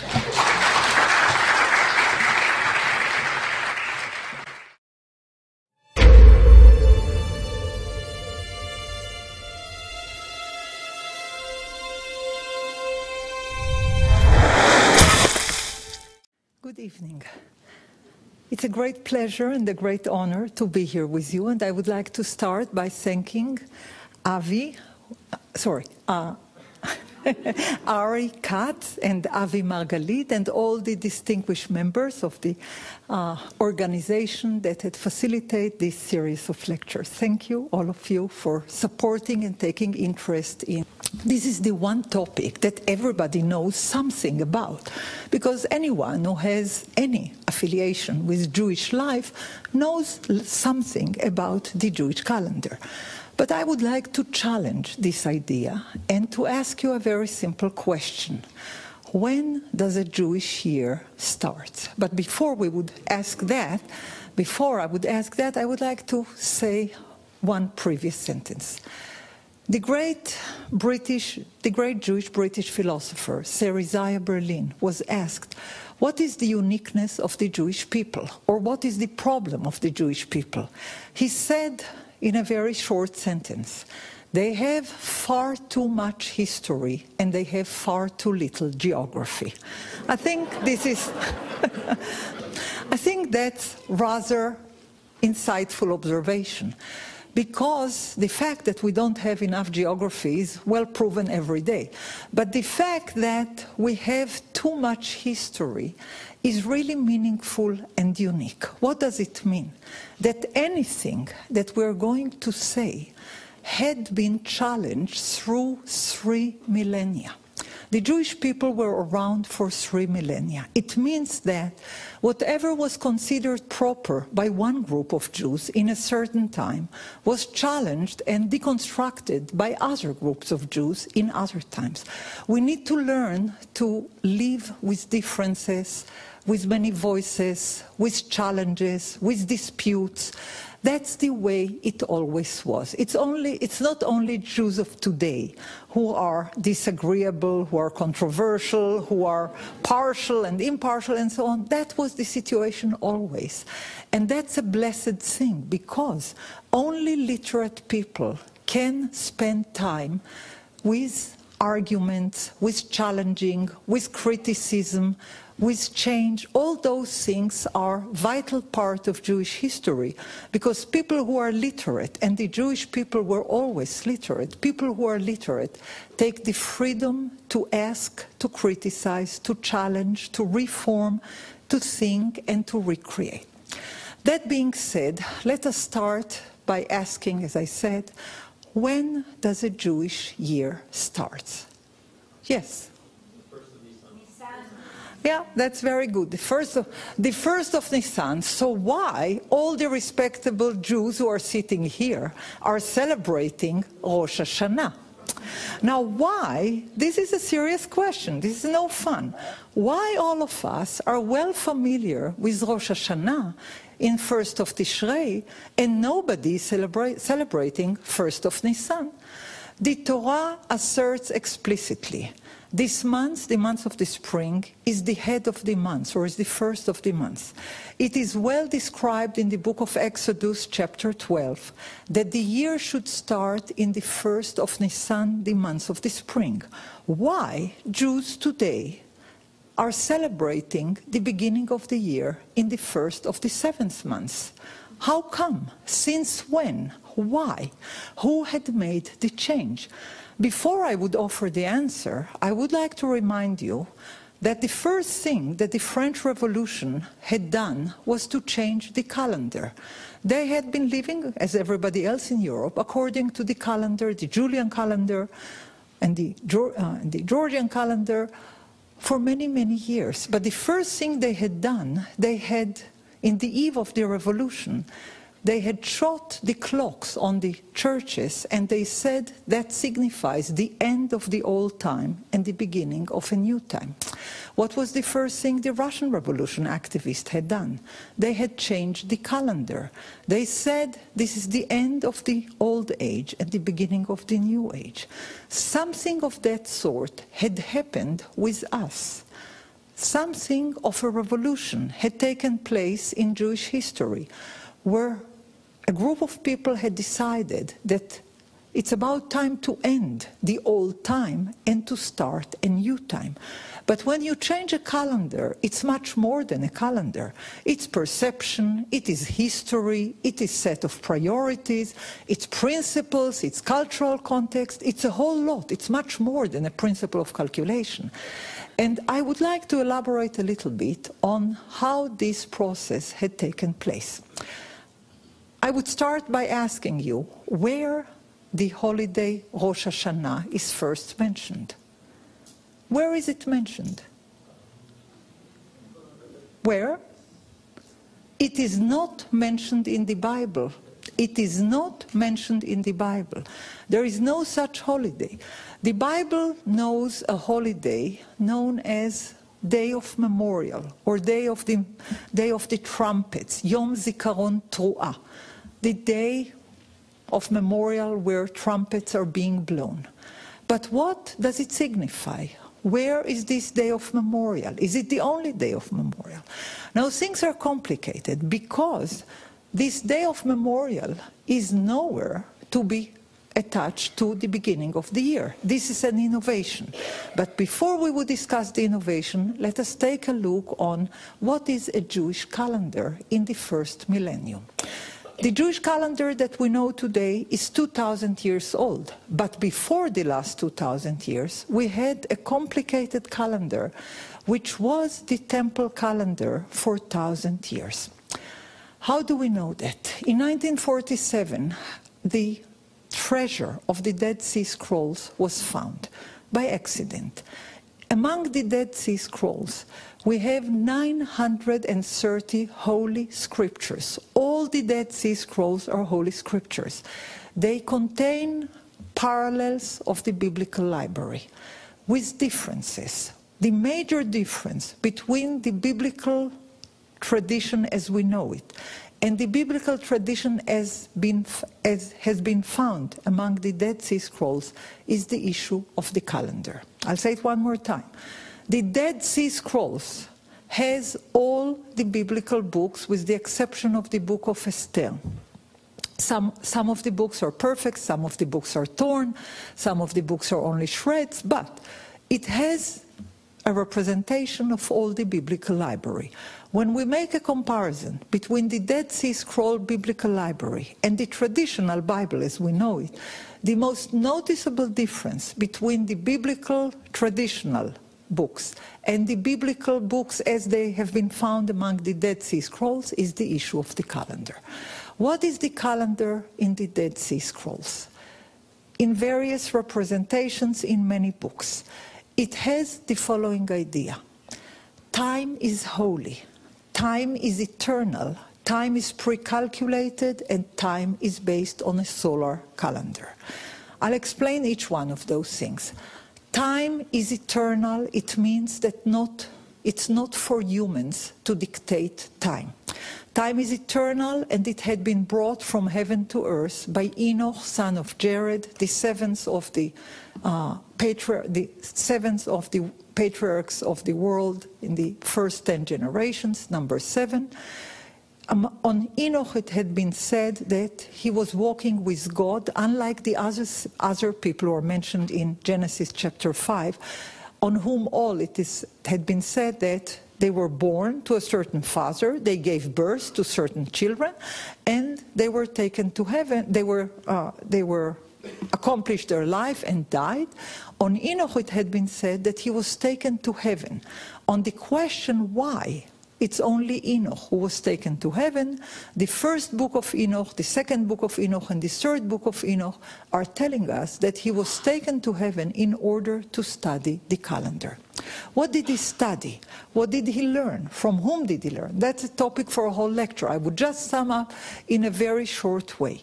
Enoch learned that the calendar has 364 days, which are divided equally to four quarters of 91 days.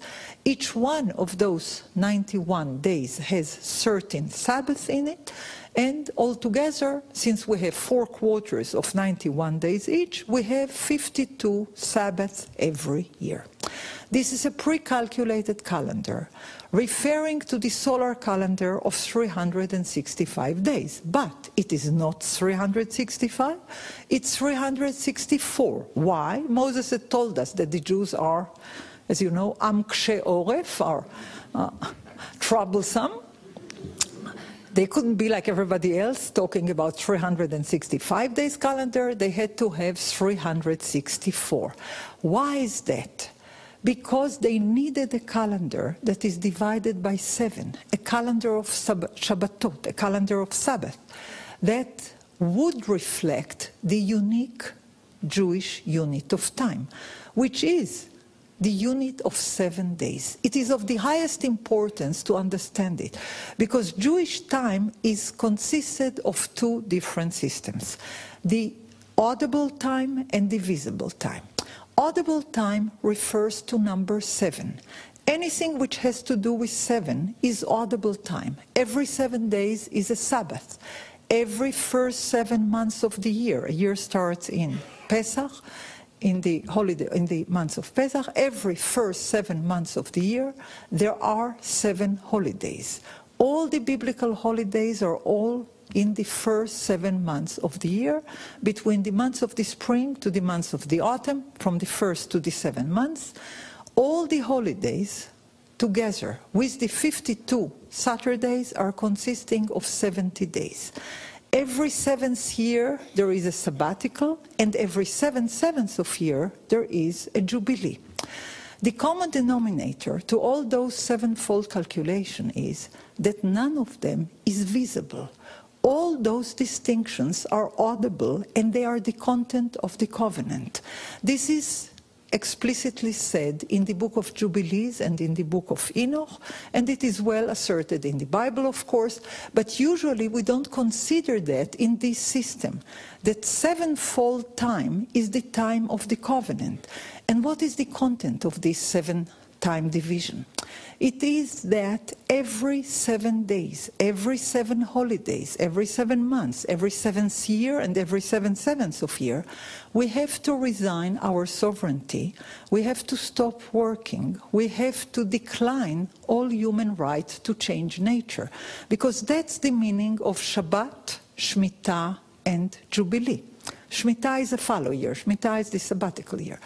The meaning of those time divisions is that human beings are giving up their right to work, to change, to make money, to affect nature. They are striking from work. They are Shabbating, if you wish to make it a, uh, a, verb.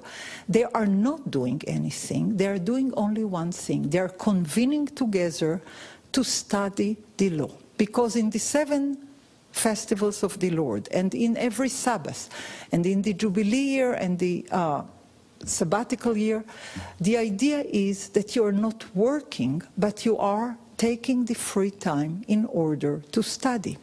We may want to reflect on the following fact. In antiquity, there were many nations which were far stronger and far bigger than the Jewish people. Assyrians, Babylonians, Egyptians, not Egypt of today, but hieroglyphic Egyptians, all those were mighty people, highly cultured people, no one today is speaking Assyrian. Nobody is cursing in Babylonian. Nobody is writing poetry in hieroglyphic Egyptian. Nobody is speaking Perizzite, Jebusite, all those languages of the seven people of Canaan. The only people from antiquity in this part of the world that are speaking the language of their fathers is are the Jewish people who are capable to read Hebrew, to speak Hebrew, to talk in Hebrew. Why is that? Because of this system of the audible cycles of time, when you don't work and you convene together to hear the law, when you teach your children to read, when you teach the whole community to listen to the divine word. In order to have those free time cycles, for that we need the sevenfold cycle of the audible divisions of time. Now, on the same time, we have another division of time. It is called the visible circle of time. If the first division, the sevenfold division, is the division of the covenant, which is directed only towards the Jewish people who are members of the covenant, who are accepting the covenant. The other kind of time, the visible time, is equally shared with all other humans on the world. The visible time is not Jewish time, it is universal time. Visible time is all divisions of time that we can see with our eyes sunrise and sunset, the moon and the spring and the autumn and winter and summer, all divisions that we can distinct through our sight. That kind of that kind of time is called the chariots of heaven, Merkavot HaShamayim. The first division of time, the sevenfold cycles, is called Mo'adei Dror, times of liberty. Times of liberty are only given to the Jewish people. The chariot of heaven, which are the eternal cycles of changing of the seasons, are given to all human beings. The difference is that the Jewish people were in charge on keeping those two cycles of time, the visible time and the audible time, and to synchronize between them. Those synchronization cycles were kept by the priests from the house of Tzadok, those who were serving in the temple for thousand years. Now, how come that all those perceptions of time division were lost in oblivion. Why we don't know much about it? Why we needed the Dead Sea Scrolls to find out about it? Because this time perception was marginalized, was thrown into oblivion by the revolution that was taking place in the beginning of the first millennium. But it was more complicated than that, because if for a thousand years the priests were keeping the time cycles through the holy watches, which are detailed in First Chronicles chapter 24, if they were keeping those time cycles as it is attested among the Dead Sea Scrolls, why it had stopped? What happened? Now, how it had stopped, you know without knowing it, because everybody sitting here had heard about the holiday of Hanukkah. But most of us don't know that Hanukkah is a very complicated holiday. It's not really a holiday for the priests. It's not a holiday acknowledged by the Ethiopian Jews. It's not a holiday known or acknowledged by the Samaritans or by various other Jewish cycles in antiquity. This is a questionable holiday because what it signifies is the end of the biblical world and the beginning of a new order. How did it happen? In the year 175 before the Common Era, Antiochus, the Seleucian king, had conquered Jerusalem. Seleucian kings means from the house of Seleucus, the heirs of Alexander the Great, Alexander Mokdon, and he was from Greek origin. He had Greek education. All Greek people had been living for years according to a lunar calendar starting in the autumn, in the months of Dios, while all, while all the Jewish people were living for years according to a solar calendar starting in the spring, in the months, in the, on a solar calendar starting on the spring, which includes 364 days. When Antiochus Epiphanes, which means the one who had the divine revelation, when Antiochus Epiphanes had conquered Jerusalem in 175 before the Common Era, he demanded to celebrate his birthday according to his own calendar. He said, if I'm a king, I would like to have my birthday celebrated every month, not once a year. If I'm a king, you know, why do we like our birthday being celebrated? What do we get in birthday? presents. Why should we get presents only once a year? We may as well get it every month if we are the king. Now, he had, his idea was if I'm the king, I may as well have things according to my own desire. My own desire was to have a birthday every month in the day of my birthday, which was the 25th of the months of Dios, but he said every month in the 25th of the month, I would like to have a celebration. That's very good, only in Jerusalem, time was calculated according to a solar calendar, not according to a lunar calendar. What is the difference between a solar and a lunar calendar? Solar calendar is a pre-calculated calendar that has nothing to do with the moon, while lunar calendar is a calendar which is based on observation and not on pre-calculation. In a solar calendar, which has 364 days, you can say in advance that there are 12 months, each one of the months of the year has 30 days. Each one of the months of the year has a date and a day that it starts. Always, always, the first month, that's the month of Nisan, the first month would start on Wednesday, the second month would start on Friday, the third month would start on Wednesday. And one more time.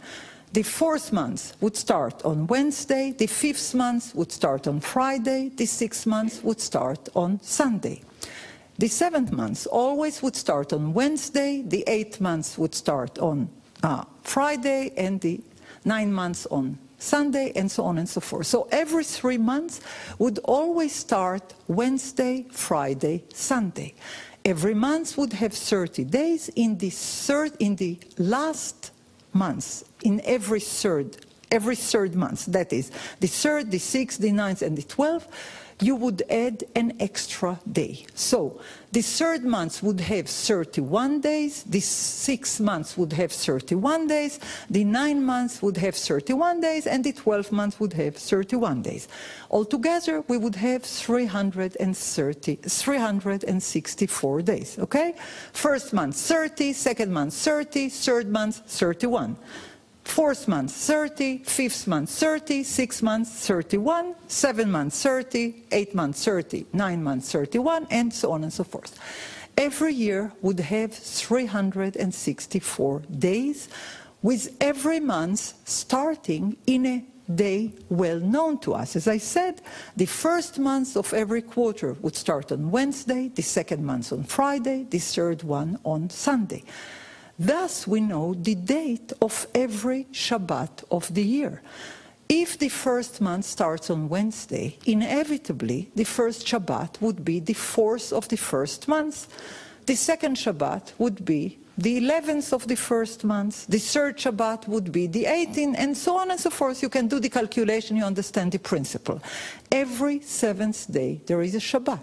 If you know how many days are in a month and how in what day the month starts, you can say the date of every Shabbat of the year all the Shabbatot would be parallel in each one of the quarters. Because if you start every quarter on Wednesday, the first Shabbat would always be the fourth of the first month, the fourth of the fourth month, the fourth of the seventh month, and the fourth of the eleventh month, and it would go like that. In every quarter of 91 days, the last Shabbat would be in the 28th of the third month. Every Shabbat has a date. Every Shabbat has, every month has a pre-calculated division of time.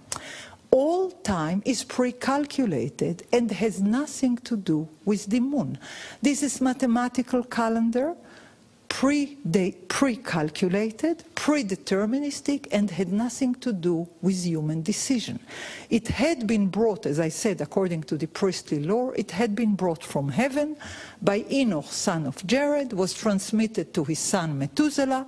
His son Methuselah transmitted it to his son Lemech, so we're told in the Dead Sea Scrolls. Lemech had passed it to the brother of Noah, his name was Ner, and Ner had passed it to Melchizedek, the one who meets many generations afterwards, Abraham, and teach him the calendar. That's the priestly alternative memory to the biblical memory that we know. But the major thing is about the calendar. The calendar is the basis of, of all Jewish memory. The calendar is the basis of the temple worship. The calendar is the foundation of the covenant. But as I said, when Antiochus came to Jerusalem in 175 before the Common Era, he said, I am the I am the king and I will implement my own calendar, the Greek lunar calendar, which starts in the first moon of the autumn. It has nothing to do with pre-calculation. It has nothing to do with solar calendars. This is a different calendar. The high priest who was serving at that time, at that period, his name was Onias, son of Shimon, Chonio ben Shimon, had refused the king. He told him, in Jerusalem, in the temple, there is only one holy calendar. It is kept by the priest from the days from days of old, from the time that we have temple in Jerusalem, from the 10th century before the Common Era. We cannot change the calendar. We would do everything you want. We would bring you presents. We would do a celebration outside of the temple, but we cannot change the temple calendar. Well, the king was not tolerant, nor was he democratic. He said, behead him or, you know, kick him out of office. Onias had to run for his life. He was murdered later, but he had to run from his life. The king had nominated his brother, Yazon, Jason, who had agreed to make some kind of a compromise. It didn't work because you cannot synchronize between the solar calendar, which is pre-calculated, and the lunar calendar, which is working on observation.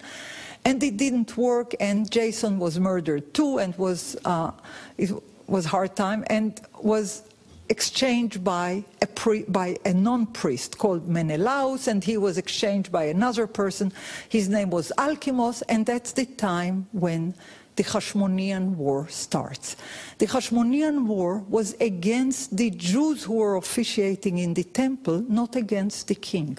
It was against the Mityavnim, the Hellenized Jews who had accepted Antiochus' ideas about time, which was contesting the Jewish tradition of time. There was a war between 167 to 164 before the Common Era, and the war ended because Antiochus died in Persia, far away from the war zone, and they had hoped that a new regime would start without imposition of the calendar. But that was not the case. There was a decade of chaos and different different people and different par uh, parties were trying to conquer the, uh, they were trying to conquer the temple. At the end of this chaotic uh, decade, Jonathan, the son of Matityahu, was nominated to a priest, to a high priest. It was not his position because the high priesthood was always kept to the people of the family of Yedaiah, which are direct descendants of Aaron. The Hashmoneans were not belonging to this family.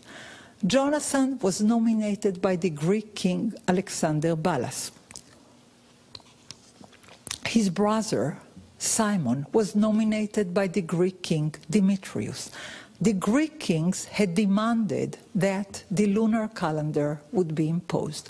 So the famous Hashmoneans, which are usually delineated as heroes and as liberators, were no heroes and no liberators. In fact, they were traitors from the point of view of the priest.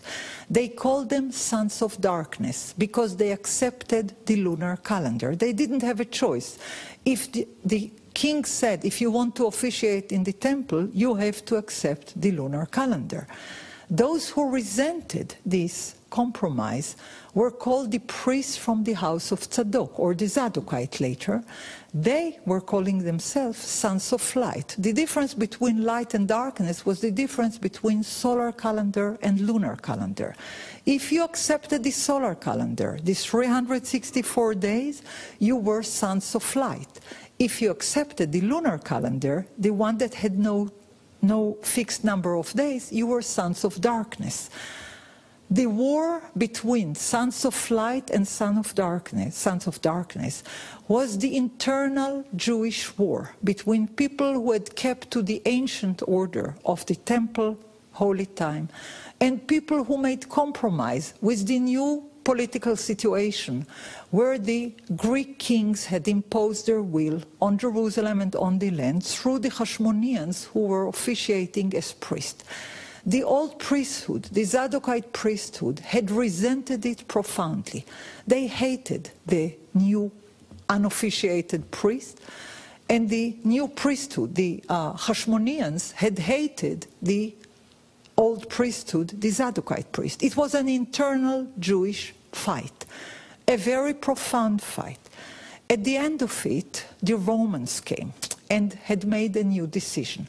For 120 years, the Hashmonean kings were ruling in a very horrible way. They were assassinating each other, they were assassinating mothers and brothers, they were imposing Greek culture in various ways, and they were much resented by the members of the old regimes who defined themselves HaKohanim Bnei Tzadok ve'anshei Britam, the priests from the house of Tzadok and the members of their covenant. For 120 years, they were fighting not with swords, with literature.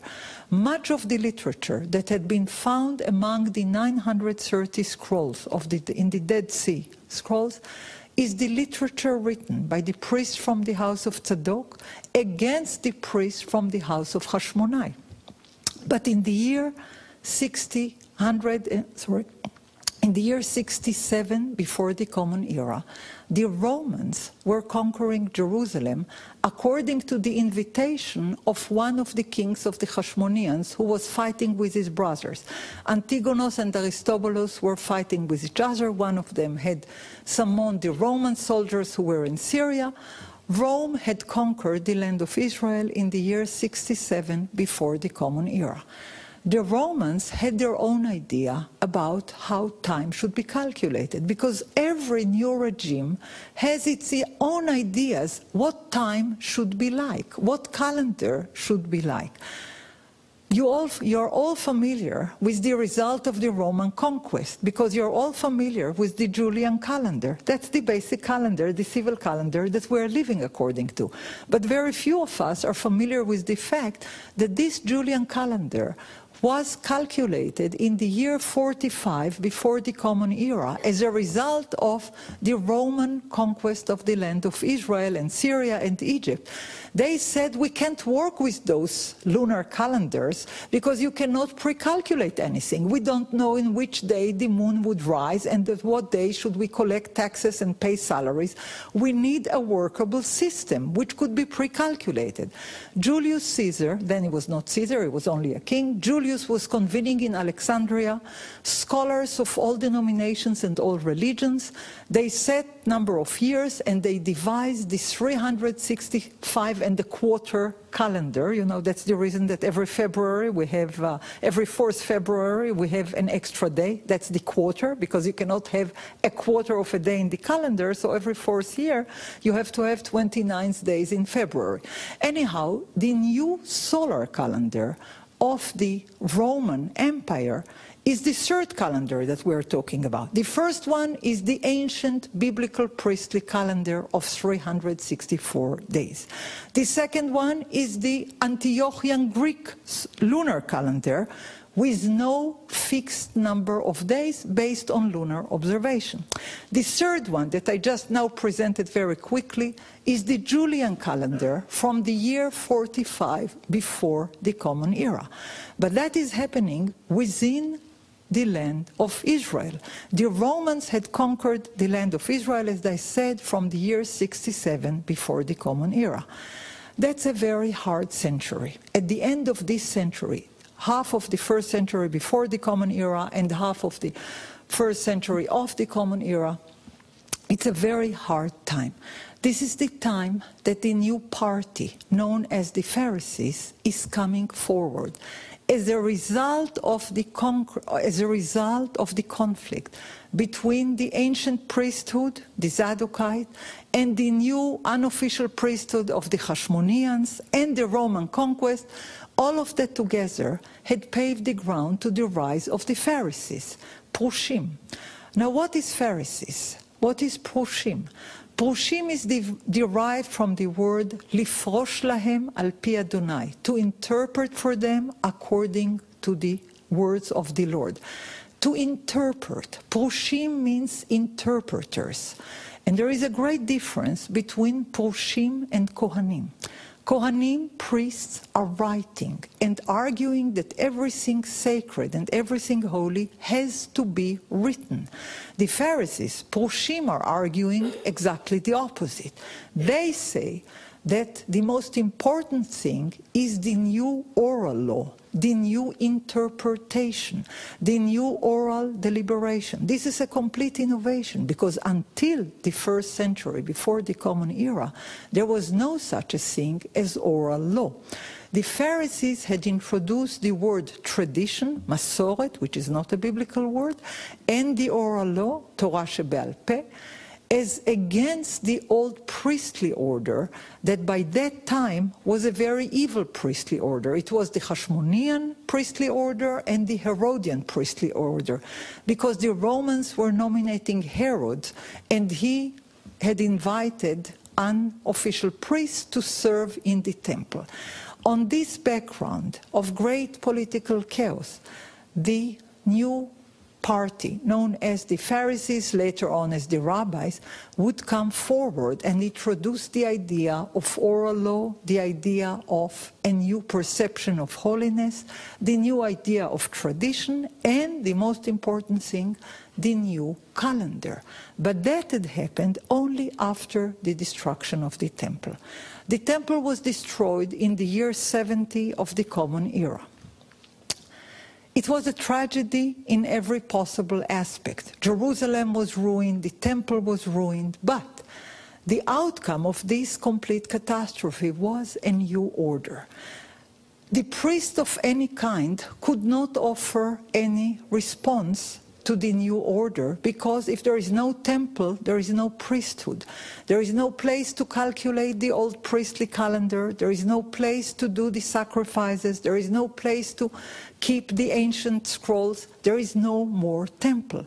The only group that could step forward and offer a solution to the catastrophe was the party known as the Pharisees, Prushim or rabbis or Tanaim, it's all the same. The meaning of this new party is let us introduce entirely new order. What did they do?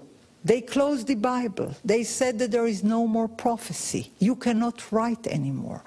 They said instead of writing, you should start to interpret. You should start to deliberate oral laws. And there is a profound difference between written law and oral law.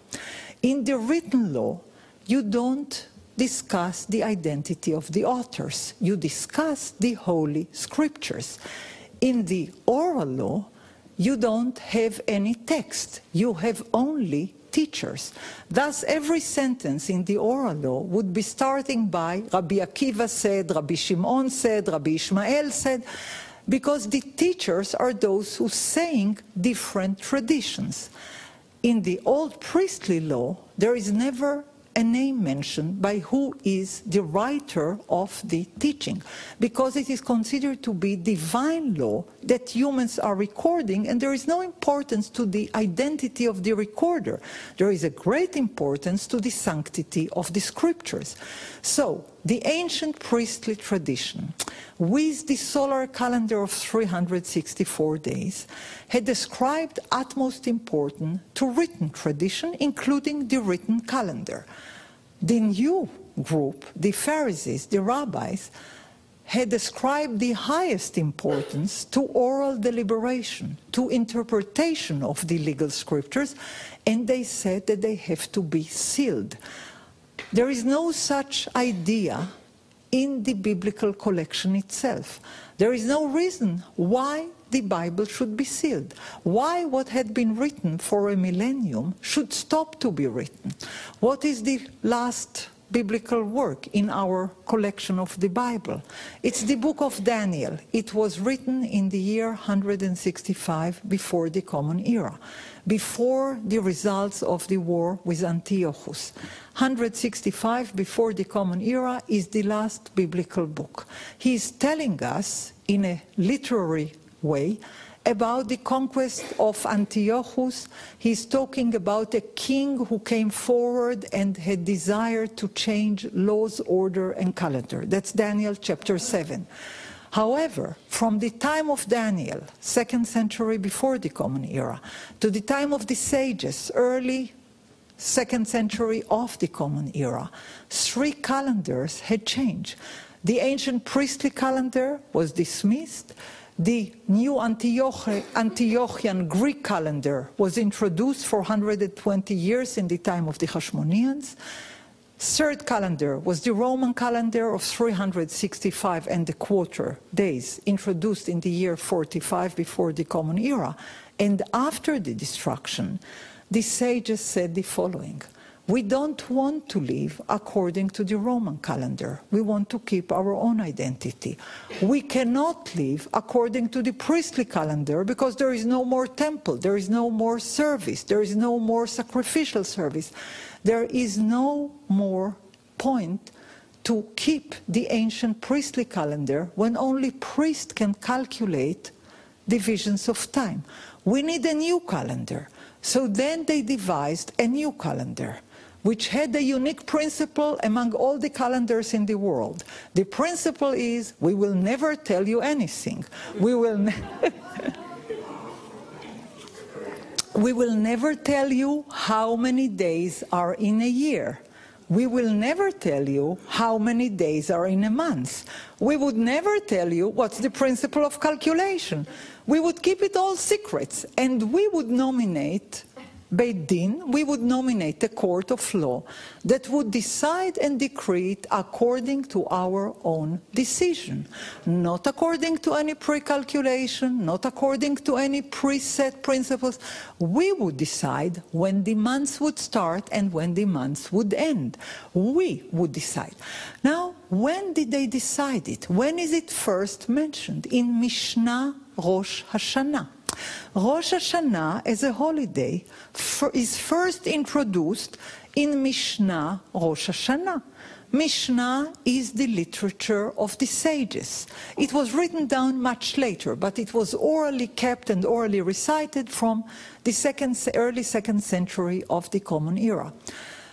What do they say in Mishnah Rosh Hashanah? They tell us in a very complicated way that in fact there are four Roshei Shana. There is not only one Rosh Hashanah, there are four Roshei Shana, heads of the years. And they start to tell you all kind of legend, there is this kind of Rosh Hashanah, there is that kind of Rosh Hashanah.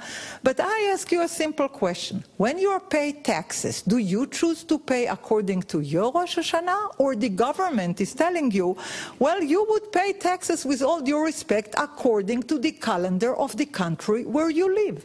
That exactly was the system with the Romans, with the Greeks, with the Egyptians, with the Persians. The government is dictating the calendar always and everywhere. Now, every individual group may choose to have its own calendar as an addition, but you pay taxes according to the ruling government and not according to your own religious identity. Now, if you would ask today, where do you think the people who set the calendar in the state of Israel are sitting? In which office would you suggest? Hmm? Which one?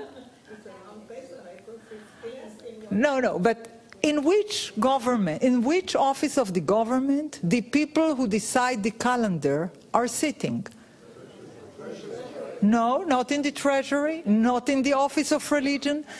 Not in the education, no, they are sitting where they are expected to sit in Misrad Rosh HaMemshala, in the office of the Prime Minister. Although you know, you may say the calendar today is a combination between the Greenwich time and the world uh, Julian calendar and so on.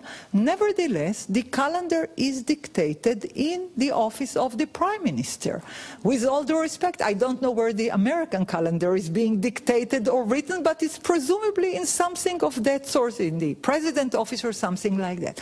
But the point of the matter is that the ruling, the new ruling group was the sages after the destruction of the temple. And they wanted to clarify in a very clear-cut way that time is no more a subject of priestly calculation, that time is no more part of the sacrificial hegemony order. Time is in human hands, and this is very clearly declared in the story of Mishnah Rosh Hashanah, in a story that many of you have heard or read about, the story where Rabban Gamliel is ordering Rabbi Yoshua to come to him in Yom Kippurim that is falling according to his, Rabbi Yoshua, calendar. How could that have happened. What was this story like? It goes like that. Rabban Gamliel, who is the representative of the new order, the order of the sages, is declaring the beginning of the new month, the seventh month. This is most important month because that's the month of Memorial Day and the month of Day of Atonement and the month of Sukkot. You need to calculate it very carefully. For thousand years, the seventh month always started on Wednesday. So the first of the seven months, Memorial Day, would always be on Wednesday. Thus, Yom Kippurim, Day of Atonement, inevitably would always be on Friday. That's why it's called Shabbat Shabbaton. Always would be on Friday. Sukkot, which is in the middle of the month, would always be on Wednesday. Rabbi Yoshua, who was a Levi, wanted to help Rabban Gamliel to declare month starting on Wednesday. But Rabban Gamliel had received a testimony on the new moon, which had caused him to err in his calculation. Rabbi Yoshua is trying to convince him that he should change his ruling. But Rabban Gamliel says to him, I don't want to hear what you have to say. It doesn't matter if you're right or wrong. I am the order now, and I would dictate when the months would start, even if I'm wrong. I would dictate it. Rabbi Yoshua is crying bitterly because he understands that that's the end of the priestly order. Rabban Gamliel is telling him, not only you would accept what I say, you would come to me in Yom Kippurim according to your own calendar, uh, in the Day of Atonement according to your own calendar. You would come to me with your money and with your purse, with your cane, and you would do everything that you may not do in Yom Kippurim in order to show that it is not Yom Kippurim according to the old calendar, but it is Yom Kippurim according to the calendar that I dictate. Rabbi Yoshua is crying bitterly because he realized the consequences of that decision. This is the end of the old order. He's crying, and the student, Rabbi Akiva, is telling him a very important insight. He's telling him the following Let me offer you an interpretation on the key verse of the calendar. In the book of Leviticus, chapter 23, it is said, and I'll say it in Hebrew and then I'll translate it, אלה מועדי אדוני מקראי קודש אשר תקראו אותם במועדם. Those are the holy days of the, of the Lord, holy festivals appoint, in their appointed time that you should call according to their appointed time. Those are the holy days of the Lord. Now Rabbi Akiva said, instead of saying, those are the holy time of the Lord, that you should call in their appointed time, he said, you, you, you, you even if you are mistaken, you even if you are erring, you even if you are deliberately mistaken, you would decree the time and not anybody else. Now, what does it what does it do? For that, we need a tiny bit of Hebrew. In Hebrew, the verse is said, אלה מועדי אדוני אשר תקראו אותם במועדם. אותם means they, the holidays should be called in their appointed time. רבי עקיבא reads it as אתם. אלה מועדי אדוני אשר תקראו אתם. אתם אפילו שוגגים, אתם אפילו מזידים, אתם אפילו טועים, אתם, אתם, אתם. Those are the holy time of the Lord that you should call. You should call them, even if you err. You should call them, even if you're deliberately making a mistake. You should call them, even if you're just mistaking without intending. You, you, you. So this interpretation, which is offered in Mishnah Rosh Hashanah, in Bavli Rosh Hashanah, and in other versions, is the moment when the calendar has changed. This is the moment when the Jewish people had decided to invent a new order. When you start in the seventh month and not in the first month, when you cut the time according to the lunar calendar of observation and not according to the solar calendar of calculation, when humans, everyone, can be can give testimony and the court would rule according to a testimony about the time of the moon. Nothing in the Bible tells us that the moon should be taken into calculation. And in fact, in the ancient versions of Genesis that were found in the, among the scrolls, it is said in the story of the creation of the luminaries, where in our tradition it is mentioned that the sun and the moon should be taken into consideration for declaring time, in the Dead Sea Scrolls, it is said that only the sun should be taken into consideration because it is a solar calendar. However, what do you need in time of a lunar calendar? Lunar calendar, basically, it's about 354 days. You miss quite a few days for a full solar year of 365 and a quarter. What do you need to do? You need to add an extra month, shana me'uberet, to add an extra month. Is there any reference in the Bible for an extra month? Of course not. There was no extra month in the biblical order because the biblical order was a solar calendar order of 364 days. But the sages who had edited the Bible had erased every place where it was said explicitly that the year has 364 days. Now, they did not want to intervene in the biblical tradition. That was Holy Scriptures. But the only topic that they took the freedom to intervene in the text is the matter of the calendar, where in our traditional story of Noah, the story of the flood. If you'll read it carefully, you'll see that it is a story of a calendar. It is mentioned when Noah started the, st- uh, started the voyage, when he ended the voyage. It is a whole year. In the parallel tradition, in the Dead Sea Scrolls, it is said, and Noah had stayed in the ark a full year, 364 days. It is said explicitly, but in the traditional version, no such number is mentioned. The word 364 days is not mentioned in the Bible, but it is mentioned in the book of Enoch and in the book of Jubilees and in Genesis, in the scrolls, the story of the Bible, and in various other sources among the Dead Sea Scrolls. So people may argue, people may say, it's not the sages who omitted it, it's the priest who had added it. We may say that. However, we must say that the priestly literature is earlier than the rabbinical literature in thousand years, because all the biblical tradition was written in the course of the first millennium before the Common Era while all rabbinical tradition was written in the course of the first millennium of the Common Era. The priestly literature is much more ancient, really in thousand years. So, in the biblical traditions which were found among the Dead Sea Scrolls, a year of 364 days is mentioned time and again in various sources, time and again. In the letter known as Miktzat Maaseh Torah, which means a little bit of the Torah writing.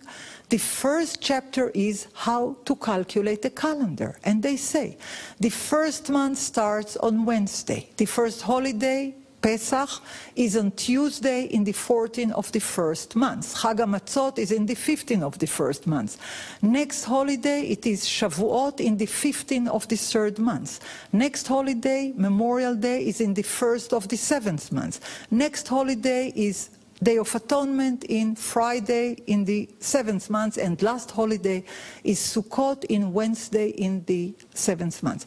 Now, it's most important for them to say that every holiday has a day and a date, while in our biblical tradition, no day and no date is given to many of the holidays. We know, of course, on the Memorial Day which is what the book of uh, Leviticus is telling us in this chapter 23. But we don't know that there are four memorial days, which correspond to the first of the first, the first of the fourth, the first of the seventh, and the first of the tenth. Each one of them is a Wednesday. Each one of them is referring to the following. The first of the first is the vernal equinox. The first of the seventh is the autumnal equinox. The first of the fourth is the longest day of the year. And the first of the tenth is the shortest day of the year. That was the foundation of the calendar for thousand years, where every day had a date, where every holiday had a date, where the priests were calculating it with great care and importance. But all that mathematical, mechanical work was intended for one single thing. Holiness is about eternity. Eternity is about time, cycles of time counting cycles of time was most holy because that what promised cycles of liberty and education. Moadei Kodesh means holy times, holy convocations, holy festivals. But Mikra'ei Kodesh means times of reading, times of convening to read together. Mikra means reading. Likro means to read.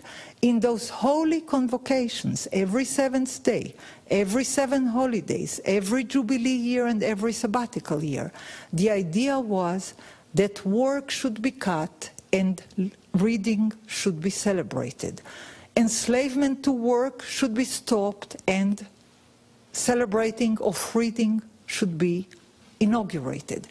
The idea that holiness is about not working, because in Hebrew, as you know, avodah and avdut, work and enslavement, comes from the same root.